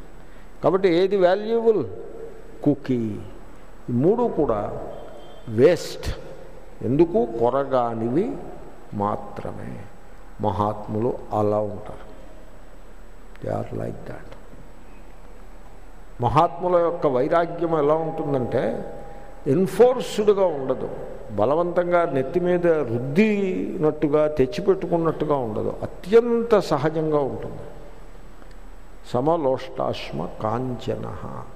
మహాత్ముడు నడిచి వెళ్తూ ఉంటాడు. మట్టిబిడ్డలు కనపడతాయి దారిలో. రాతి ముక్కలు కనపడతాయి. వాటి మీద పాదాలు వెయ్యడు ఎందుకంటే వాటి మీద పాదాలు వేస్తే పాదాలకి నొప్పి కలుగుతుంది. ఈ లోపల బంగారపు ముద్దలు కనపడతాయి. వాటి మీద కూడా పాదాలను వెయ్యడు ఎందుకంటే కాళ్ళు నొప్పులు పుడతాయి. పాదాలు వేస్తే నొప్పి పుడుతుంది. వాటిని స్పృశించను కూడా స్పృశించడు. సమలోష్టాశ్మ కాంచన. పూర్వానికి ఒక కథ ఉంది. రామతీర్థ చెప్పారు ఈ కథ. ఒక అమ్మాయి రాజకుమారి రాజకుమారో లేకపోతే ఒక ధనవంతుని బిడ్డ భర్తని సెలెక్ట్ చేసుకోవాలి. స్వయంవరం. పూర్వకాలం స్వయంవరం అనేది ఉండేది. అమ్మాయిలు తమ భర్తల్ని తామే సెలెక్ట్ చేసుకునేవారు. ఆ తరువాతి కాలంలో మిడివల్ పీరియడ్లో అనేక ట్యాబూస్ సోషల్ కస్టమ్స్ అన్నీ వచ్చి పెద్దలు పెళ్ళిళ్ళు చేయటం అనేటువంటి ఒక సిస్టమ్ వచ్చింది. అది మంచా చెడ ఆ వ్యాఖ్యానం నేను చేయటం లేదు. కానీ ఒకప్పుడు అమ్మాయిలు తమ భర్తలని తామే సెలెక్ట్ చేసుకునేవారు. స్వయంవరము. సీతాదేవి సీతా స్వయంవరం అన్నారా? అయితే సీతాదేవికి పెళ్ళి చూపులు తాంబూలాలు అలా ఉండేదా? చెప్పండి మీరే చెప్పండి. సీత స్వయంవరము. ద్రౌపది స్వయంవరము. దమయంతి స్వయంవరము. శకుంతల స్వయంవరం చేసుకుందా లేకపోతే తాంబూలాలు అవి పుచ్చుకుని పెళ్ళి చేసుకుందా? స్వయంవరము. పూర్వం అలా ఉండేవారు. దాంట్లో తప్పేం లేదు. ఇప్పటికీ కూడా దయానంద సరస్వతి మహారాజ్ అని ఆయన ఆర్య సమాజ సంస్థాపకులు ఆయన. ఆయన ఏమన్నారంటే పిల్లలకి స్వయంవరమే శ్రేష్టము అని చెప్పారు ఆయన.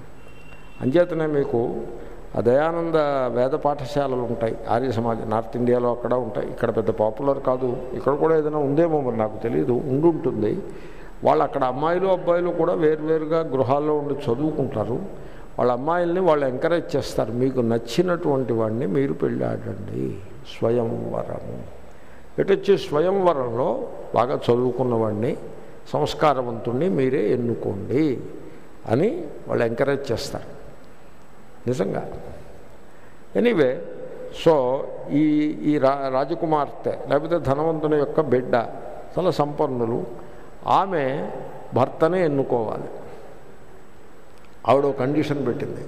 నాతో సమానంగా పరిగెత్తేవాడిని నేను పెళ్ళాడతాను ఏమండి? పరుగు పందానికి వచ్చే ముందు పదివేల రూపాయలు డిపాజిట్ పెట్టాలి అక్కడ లేకపోతే ప్రతివాడు వస్తాడు పరుగు పందానికి. పదివేలు డి పదివేలు ఆ రోజుల్లో చాలా పెద్ద మొత్తం.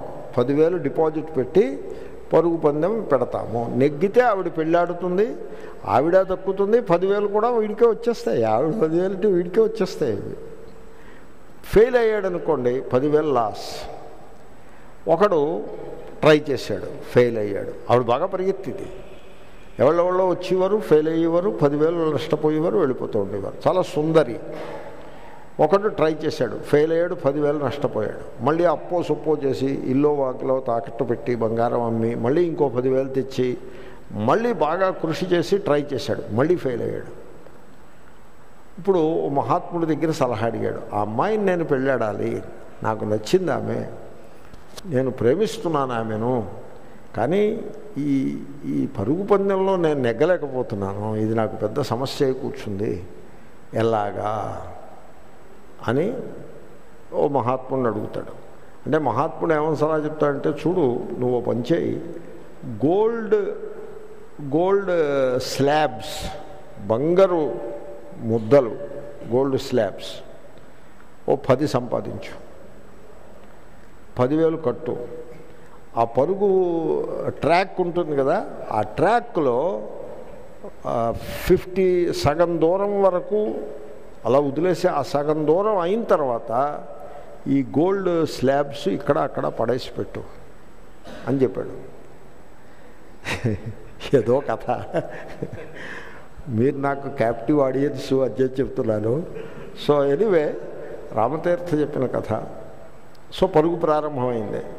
ఫైవ్ హండ్రెడ్ థౌజండ్ సగం దూరం వెళ్ళేప్పటికీ వీడు బాగా వెనక పడిపోయాడు. ఆవిడ చాలా ముందుంది. వెనక్కి చూసుకుంటారు కదా పరిగెత్తేప్పుడు. వీడిని రెండు సార్లు అంతకుముందే నెగ్గింది వీడి మీద ఆవిడ.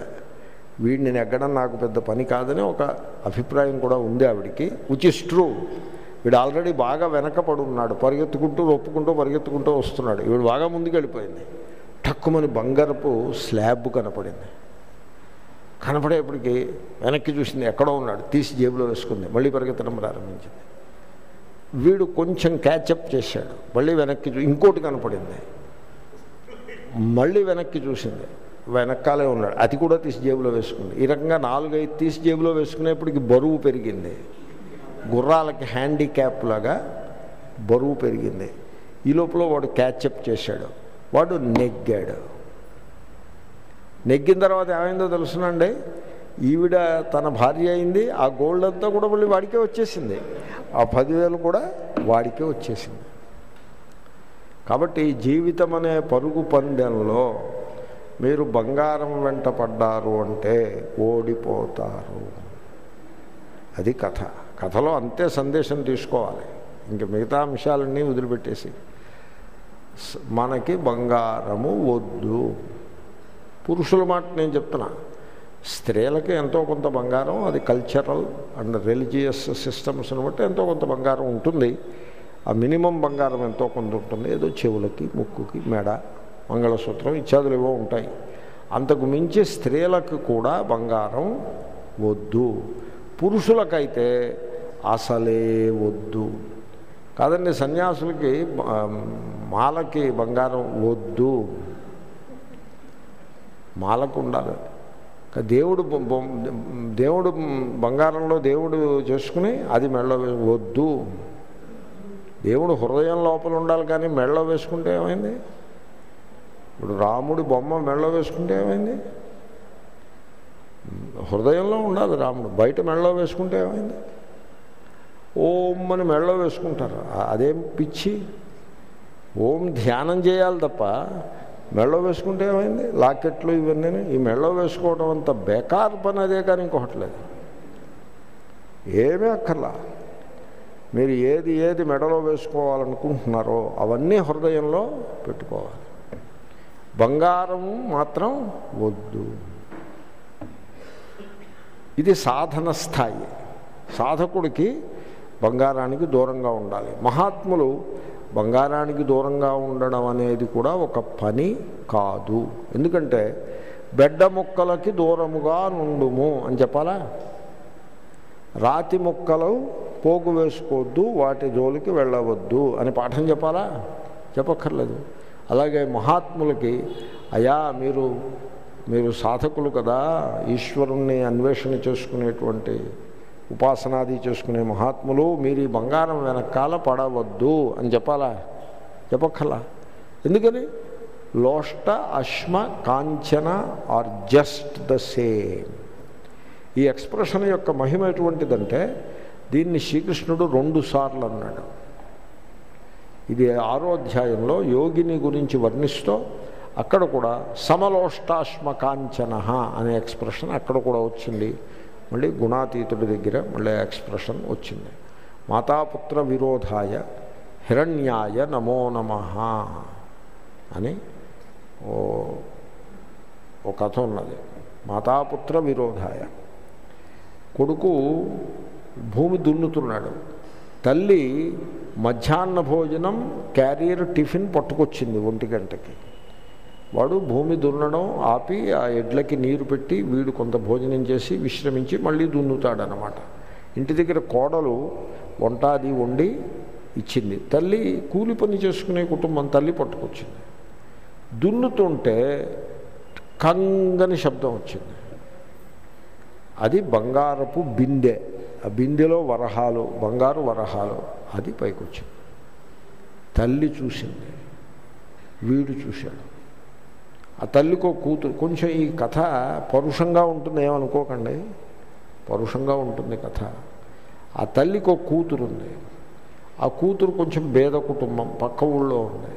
తల్లి అనుకుంది ఈ బంగారం కొంత కొంత వీడికి దొరికింది కదా పుక్కానికి దొరికింది ఊరికే దొరికింది ఇది దీంట్లో అంత పెద్ద కష్టపడ్డదేమీ లేదు. చెల్లెలే కదా వాడికి కూడాను. ఓ సగం ఆ కూతురికి ఇచ్చినట్లయితే వాళ్ళు కూడా దుఃఖం నుంచి దారిద్ర్యం నుంచి బయటపడిపోతారు అని తల్లి అనుకుంది కానీ వీడివ్వడు భార్య వీడిని ఇవ్వనివ్వదు అని ఆమె మనస్సులో బయలుదేరింది. వాడు అనుకున్నాడు తల్లి చూసినట్లయితే ఎంతసేపు ఈవిడికి కూతురికి పెట్టాలనేది కానీ కోడల మీద కొడుకు మీద ప్రేమ తక్కువ? భోజనం ఏమో కోడలు పెట్టాలి కొడుకు పెట్టాలి కానీ ప్రేమ ఏమో కూతురు మీద ఉంటుంది బంగారం ఏమో కూతురికి ఇస్తానంటుంది. భోజనం పెట్టే కోడలకి ఏమీ ఇవ్వదు. ఈవిడ దుష్టురాలు ఈవిడ కంటపడకుండా చెయ్యాలి అని వాడు. వీడిని వదిలించుకుంటే ఈ బంగారం అంతా పట్టుకుని మనం కూతురింటికి వెళ్ళిపోవచ్చు అనే ఆవిడ ఈవిడ్ని వదిలించుకుంటే ఈ కూతురికి బంగారం ఇవ్వడం ఈ సమస్య లేకుండా ఈ బంగారం అంతా మనమే ఎట్ట పెట్టుకోవచ్చు అని అతను ఊహించుకుని వీడిని వదిలించుకోవడం కోసం ఆవిడ ఆహారంలో విషం పెడుతుంది. ఈవిడ్ని వదిలించుకోవడం కోసం వాడు కొడవలితో ఈమెను నరికేస్తాడు. కొడవలతో ఈవిడ్ని నరికేసి ఆవిడ విషాన్ని మిశ్రితం చేసిన ఆహారాన్ని భుజించి వాడు చచ్చి పడిపోతాడు ఆ పక్కన బిందె దాని నిండా బంగారం ఉంటాయి. ఈ లోపల అటు ఒక బాటసారి వెళ్తూ ఉంటాడు. వాడి ముందు ఈ బంగారపు బిందె కనపడుతుంది. కనపడిన వెంటనే అబ్బో ఇది ఇక్కడ పడి ఉంది మనం తీసుకుంటే చాలా గొప్పగా ఉంటుంది అని అనుకుంటాడు. ఇంతట్లోకి ఓ శవం కనపడుతుంది. ఆ ముసలావిడ ఇంతట్లోకి ఈ యంగ్ మ్యాన్ వీడి కూలి చేసుకునేవాడి రైతు శవం కనపడుతుంది. అతనికి మొత్తం విషయమంతా అర్థమైపోతుంది. అర్థమైపోయి మాతాపుత్ర విరోధాయ హిరణ్యాయ నమో నమ అని నమస్కారం పెట్టేసి ఆ బిందె ముట్టుకోకుండా అక్కడి నుంచి వెళ్ళిపోతాడు. ఇది కథ. మహాత్ములకి అలాగంటి సమస్య కూడా ఉండదు. ఎందుకంటే అతని దృష్టిలో బంగారానికి విలువ ఉంది. కానీ అది విరోధం తెచ్చిపెడుతుందని దూరంగా పెట్టాడు. కానీ మహాత్ములైతే సమలోష్టాశ్మ కాంచన. భాష్యం. సమలోష్టాశ్మ కాంచన. లోష్టంచ అశ్మాచ కాంచనంచ సమాని యస్య సహా. సమలోష్టాశ్మకాంచన బహుపద బహువ్రీహి అని అంటారు. సమాసం పేరు. ఇంకా ఆయన అంతకంటే ఏం చెప్పలేదు. బహుపద బహువ్రీహి. బహుపదం అన్నది బహువ్రీహి సమాసంలోనే కుదురుతుంది. తరువాత సమలోష్ట తుల్య ప్రియా ప్రియ చూడండి తుల్య సుఖ దుఃఖాలను ఎప్పుడైతే మనం చెప్పినామో సమదుఃఖ సుఖ ఎప్పుడైతే చెప్పినామో మిగతావన్నీ కూడా దాంతోపాటుగా కరెక్ట్ అయిపోతాయి. తుల్య ప్రియా ప్రియ ఏమండి మీకు ఇది ప్రియము ఇది అప్రియము అనేమైనా ఉన్నదా? ఇప్పుడు భోజనం ఉంది. మీకు ఏ కూర ప్రియము ఏది అప్రియము అని మీరు నన్ను అడిగారనుకోండి అంటే నేను అంటాను ఆ ప్రశ్నకి సమాధానం నాకు తోచట్లేదు మీరే చెప్పండి అని నేను అంటే మాకు వంకాయ ప్రియము కాకరకాయ అప్రియము అని మీరు అన్నారనుకోండి నేనేమంటానంటే నాకు వంకాయ అయినా కాకరకాయ అయినా ఒకటేనండి అని నేను చెప్తా. అంటే ఇప్పుడు ఏమైనట్టు నేనేమవుతాను? తుల్య ప్రియా ప్రియ అవుతాను. సరిపడిందండి మీకు పాయింట్? సో ఇప్పుడు ఓ భక్తుడు ఉండేవాడు. ఆయనకి పుత్రవియోగం వచ్చింది. పుత్రుడు పోయినాడు. ఆయన ఏమీ దుఃఖించలేదు. మామూలుగా ఉన్నాడు. ఆయన అడిగారు ఎవయా పుత్రుడు పోతే దుఃఖించక్కర్లేదా? అని. పుత్రుడు వచ్చినప్పుడు నేను పండగ చేసుకోలేదు పోయినప్పుడు నేను దుఃఖించటం లేదని చెప్పాడు. తుల్య ప్రియా ప్రియ. ఈ కథ పుండరీకుడు అని మీకు ఏదో కథ వినుంటారు మీరు? పుండరీకుడు అని ఒక భక్తుడు ఉండేవాడని. ఆయన జీవితంలో కథ నేను సంగ్రహంగా చెప్పాను. పుత్రుడు పుట్టినప్పుడు పుత్రోత్సవం చేసుకోలేదు. వాడు పోయినప్పుడు దుఃఖించను లేదు. కొడుకు అమెరికా వెళ్ళిపోయాడు. అమెరికా వెళ్ళిపోయి అక్కడ ఒక బెల్జియం అమ్మాయినో ఫిలిప్పీన్స్ అమ్మాయినో పెళ్ళాడాడు. పెళ్ళాడాడు ఇంక ఇంటికి రాలేదు. ఎందుకని ఈయన ఏమన్నాడు? ఎరా నేను చెప్పిన పిల్లని పెళ్ళాడలేదు కనుక నువ్వు కులం ఏమీ లేని పిల్లని పెళ్ళాడేవు కనుక నువ్వు నా గుమ్మం తొక్కద్దు అన్నాడు ఈయన. అంటే అతను అన్నాడు ఇప్పుడు నీ గుమ్మం తొక్కేయాలని నేనేం అనుకోవటం లేదులే పోన్లే. రాజు కోరిందే నాకు ఏదో సామెత ఉంది ఆ రకంగా నేను అనుకుంటున్నదే నువ్వు అన్నావు. అలాగే అని అతను రావడం మానేశాడు. ఇప్పుడు ఆ కొడుకు పుట్టినప్పుడు ఈయన ఉత్సవం చేసుకున్నాడు. ఆ కొడుకు దూరం అయినప్పుడు దుఃఖిస్తూ కూర్చున్నాడు.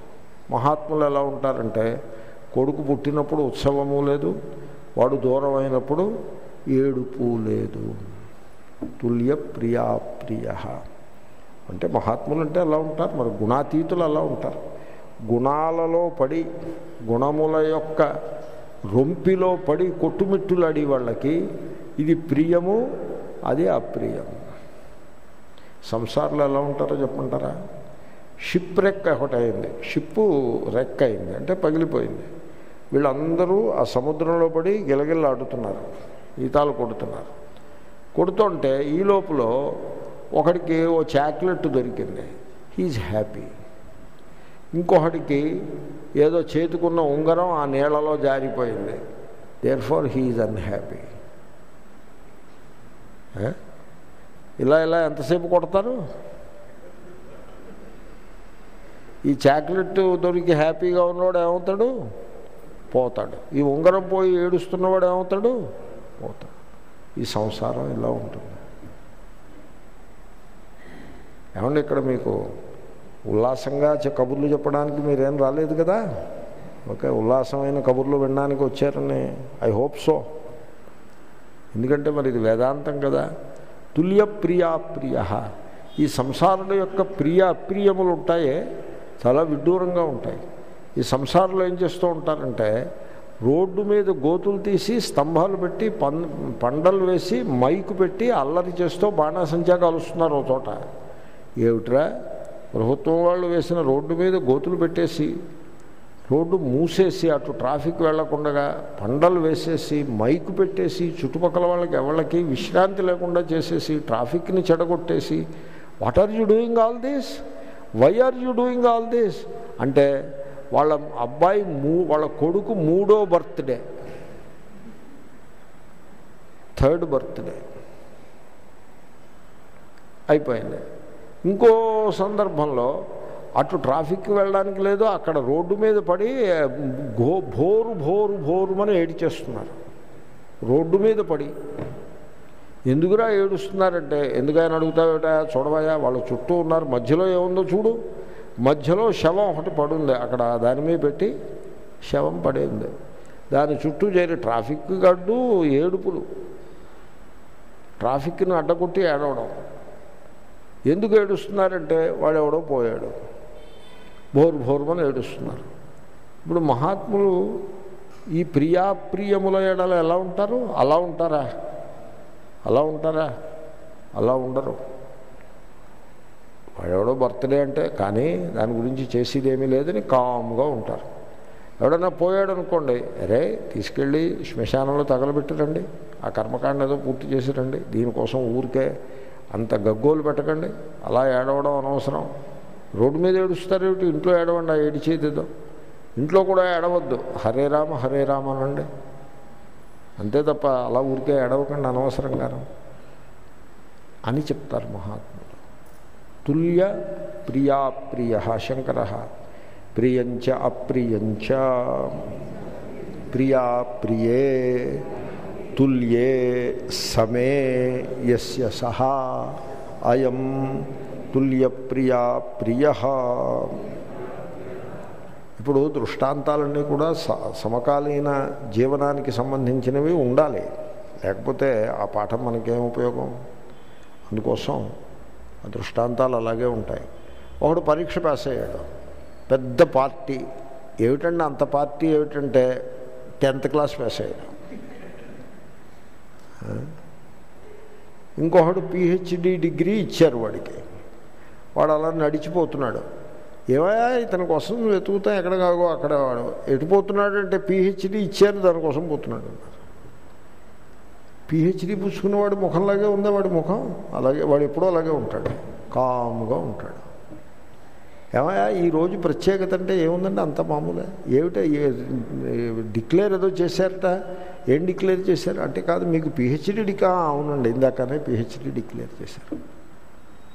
దట్స్ ఇట్ వీడు టెన్త్ క్లాస్ పాస్ అయ్యి పార్టీ టెన్త్ క్లాస్ పాస్ అయ్యి మహాత్ములు అలా ఉంటారు. తుల్య ప్రియా ప్రియ. ఈ దృష్టాంతాలన్నీ నెగిటివే ఉంటాయి మీకు. ఎందుకంటే పాజిటివ్ దృష్టాంతం ఉండదు. ఎలా ఎలాగ పాజిటివ్ దృష్టాంతం ఎలా చూపిస్తారు చెప్పండి మీరు? మీరు ఇవ్వండి పాజిటివ్ దృష్టాంతం ఏమిటో. తుల్య ప్రియాప్రియ చెప్పాలంటే ఎవడైతే ప్రియ ప్రియములను అతుల్యముగా స్వీకరిస్తూ ఉంటాడో వాణ్ణి చెప్పి ఇలా ఉండడు అని చెప్పాల్సి ఉంటుంది. That is how it goes okay తర్వాత ధీర ధీర అంటే కరేజియస్ పర్సన్ అని అర్థం. కరేజ్ ఎక్కడి నుంచి వస్తుందో తెలుసిన? ధీమాన్.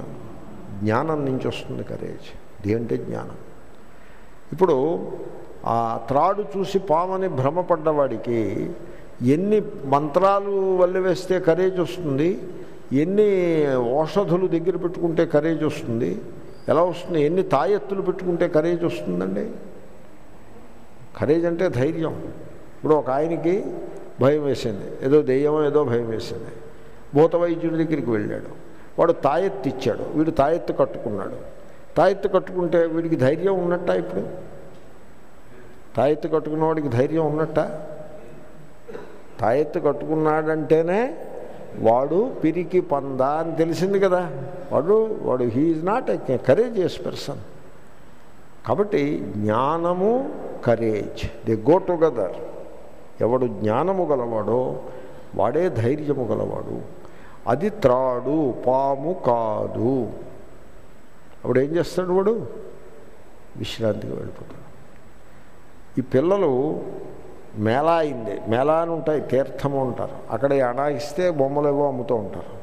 దాంట్లో పాము బొమ్మ రబ్బరు బొమ్మ వీడు అణా ఇచ్చి కొనుక్కొచ్చాడు ఒకడు. వీళ్ళు అరడదని మంది పిల్లలు. ఒక్కటే బొమ్మ. వీళ్ళు ఆ బొమ్మతో ఆడుకుంటున్నారు. అది పాముది. పాము బొమ్మ. ఒక ఆయన నడిచి వెళ్తున్నాడు రోడ్డు అమ్మట. వీళ్ళందరూ గోడ వెనకాల నక్కారు ఈ ఆరుగురును. అరే ఈయన్ని మనం ఆట పట్టిద్దామని. ఈ పాము బొమ్మని అలా విసిరారు. ఆయన పామును చూసి ఉలిక్కిపడి పారిపోయాడు అక్కడి నుంచి. వీళ్ళందరూ హా హా హా అని నవ్వుకున్నారు. మళ్ళీ పాము వీళ్ళకి బాగుంది ఆట. మళ్ళీ ఆ పాము బొమ్మని తీసుకున్నారు. ఈ లోపల ఇంకో ఆయన వస్తున్నాడు. ఈ పాము బొమ్మని అలా వేశారు. వేస్తే ఆయన చూశాడు. ఆయనకి అర్థమైపోయింది విషయం. ఏమిటి? ఇది రబ్బరు తప్ప పాము కాదు అని తెలిసిపోయింది. అలా వంగి అది తీసి ఇలా చుట్ట చుట్టి జేబులో పెట్టుకున్నాడు. వెళ్ళిపోతుంటే వీళ్ళందరూ వెనకాల పడ్డారు. అంకుల్ అంకుల్ మా బొమ్మ మాకు ఇచ్చేసేయండి. అంటే బొమ్మ ఏమిటిరా అని అడిగాడు. పాము పామా? పాము లేదు ఏం లేదు. పాము ఏం లేదుగా. కాదు అంకుల్ మీ జేబులో ఉంది. అలా కదరా మరి మీరు నా మీద విసిరారు కదా మరి నేను భయపడాలి కదా కాబట్టి లోపల పెట్టుకుని నాకు ఖాళీగా ఉన్నప్పుడు దాన్ని చూసి మరి నేను భయపడతాను. మీకు ఇంకా నా మీద విసిరిన పాము మీకెందుకు ఇంకా? పొండే అన్నాడు ఆయన. కాదు అంకుల్ క్షమించండి మాది పొరపాటు అయిపోయింది. ఇంకెప్పుడు ఎవరి మీద విసరరు కదా విసరము ఇచ్చేశాడు. జ్ఞానము యొక్క మహిమను చూడండి మీరు. మీరు మీ భయాలకి అలాంటి సొల్యూషన్ తీసుకోండి తప్ప పిచ్చి పిచ్చి సొల్యూషన్స్ వెంట మీరు పడవద్దు. మీకు ఏమైనా భయాలుంటే ఆ భయాలకి జ్ఞానపూర్వకమైన సొల్యూషన్ మీరు తీసుకోండి. ఒక అమ్మగారు నాతో అన్నారు మా కుర్రాడు బాగా పైకి వస్తాడో రాడో అని భయంగా ఉంది అని. నేను అన్నాను చూడమ్మా ఇంకా నాలుగేళ్ళు టైం ఉంది కదా ఈ లోపల మోడీ గారు ఉద్యోగాలన్నీ సృష్టిస్తున్నారు. Make in India. ఏదో ఉద్యోగం వస్తుంది. భగవంతుణ్ణి శరణాగతి చేసి మనం అందరి క్షేమాన్ని కోరుకోవాలి. మీ పిల్లాడు ఒక్కడే కాదుగా భారతదేశంలో. పదిహేను మిలియన్ పిల్లలు ఉన్నారు వాళ్ళందరికీ ఉద్యోగాలు ఇవ్వాలని ఆయన పాపం ప్రయత్నం చేస్తున్నారు. మీ వాడికి దొరుకుతుంది. మీరు ఈశ్వరుణ్ణి శరణు వేడి ఉత్సాహంగా ధైర్యంగా ఉండండి అని నేను చెప్పా. అంటే ఆవిడన్నారు ఏదో మంత్రం ఇస్తారు తాయెత్తిస్తారని నేను వస్తే మీరు ఇలాంటి కబుర్లు చెప్తున్నారేమిటి అంటే చూడండి ఇదే మంత్రము ఇదే తాయత్తు. నేను చెప్పిందే మంత్రము అదే తాయత్తు. ధీర ధీమాన్. ఎవడు ధీమంతుడో వాడే ధీరుడు. ఎవడు అండర్స్టాండింగ్ ఉన్నవాడో వాడే కరేజియస్ పర్సన్ అజ్ఞానంలో ఉన్నవాడు ఎప్పుడూ భయపడుతూనే ఉంటాడు తప్ప వాడికి కరేజ్ అంటే ఏమిటో తెలియదు. ఈ శ్లోకం రేపు ఫినిష్ చేద్దాం. ఓం పూర్ణమద పూర్ణమిదం పూర్ణాత్ పూర్ణముద్యతే పూర్ణస్ పూర్ణమాదాయ పూర్ణమేవాశిష్యతే ఓం శాంతి శాంతి శాంతి. ఓం త్ర్యంబకం యజామహే సుగంధిం పుష్టివర్ధనం.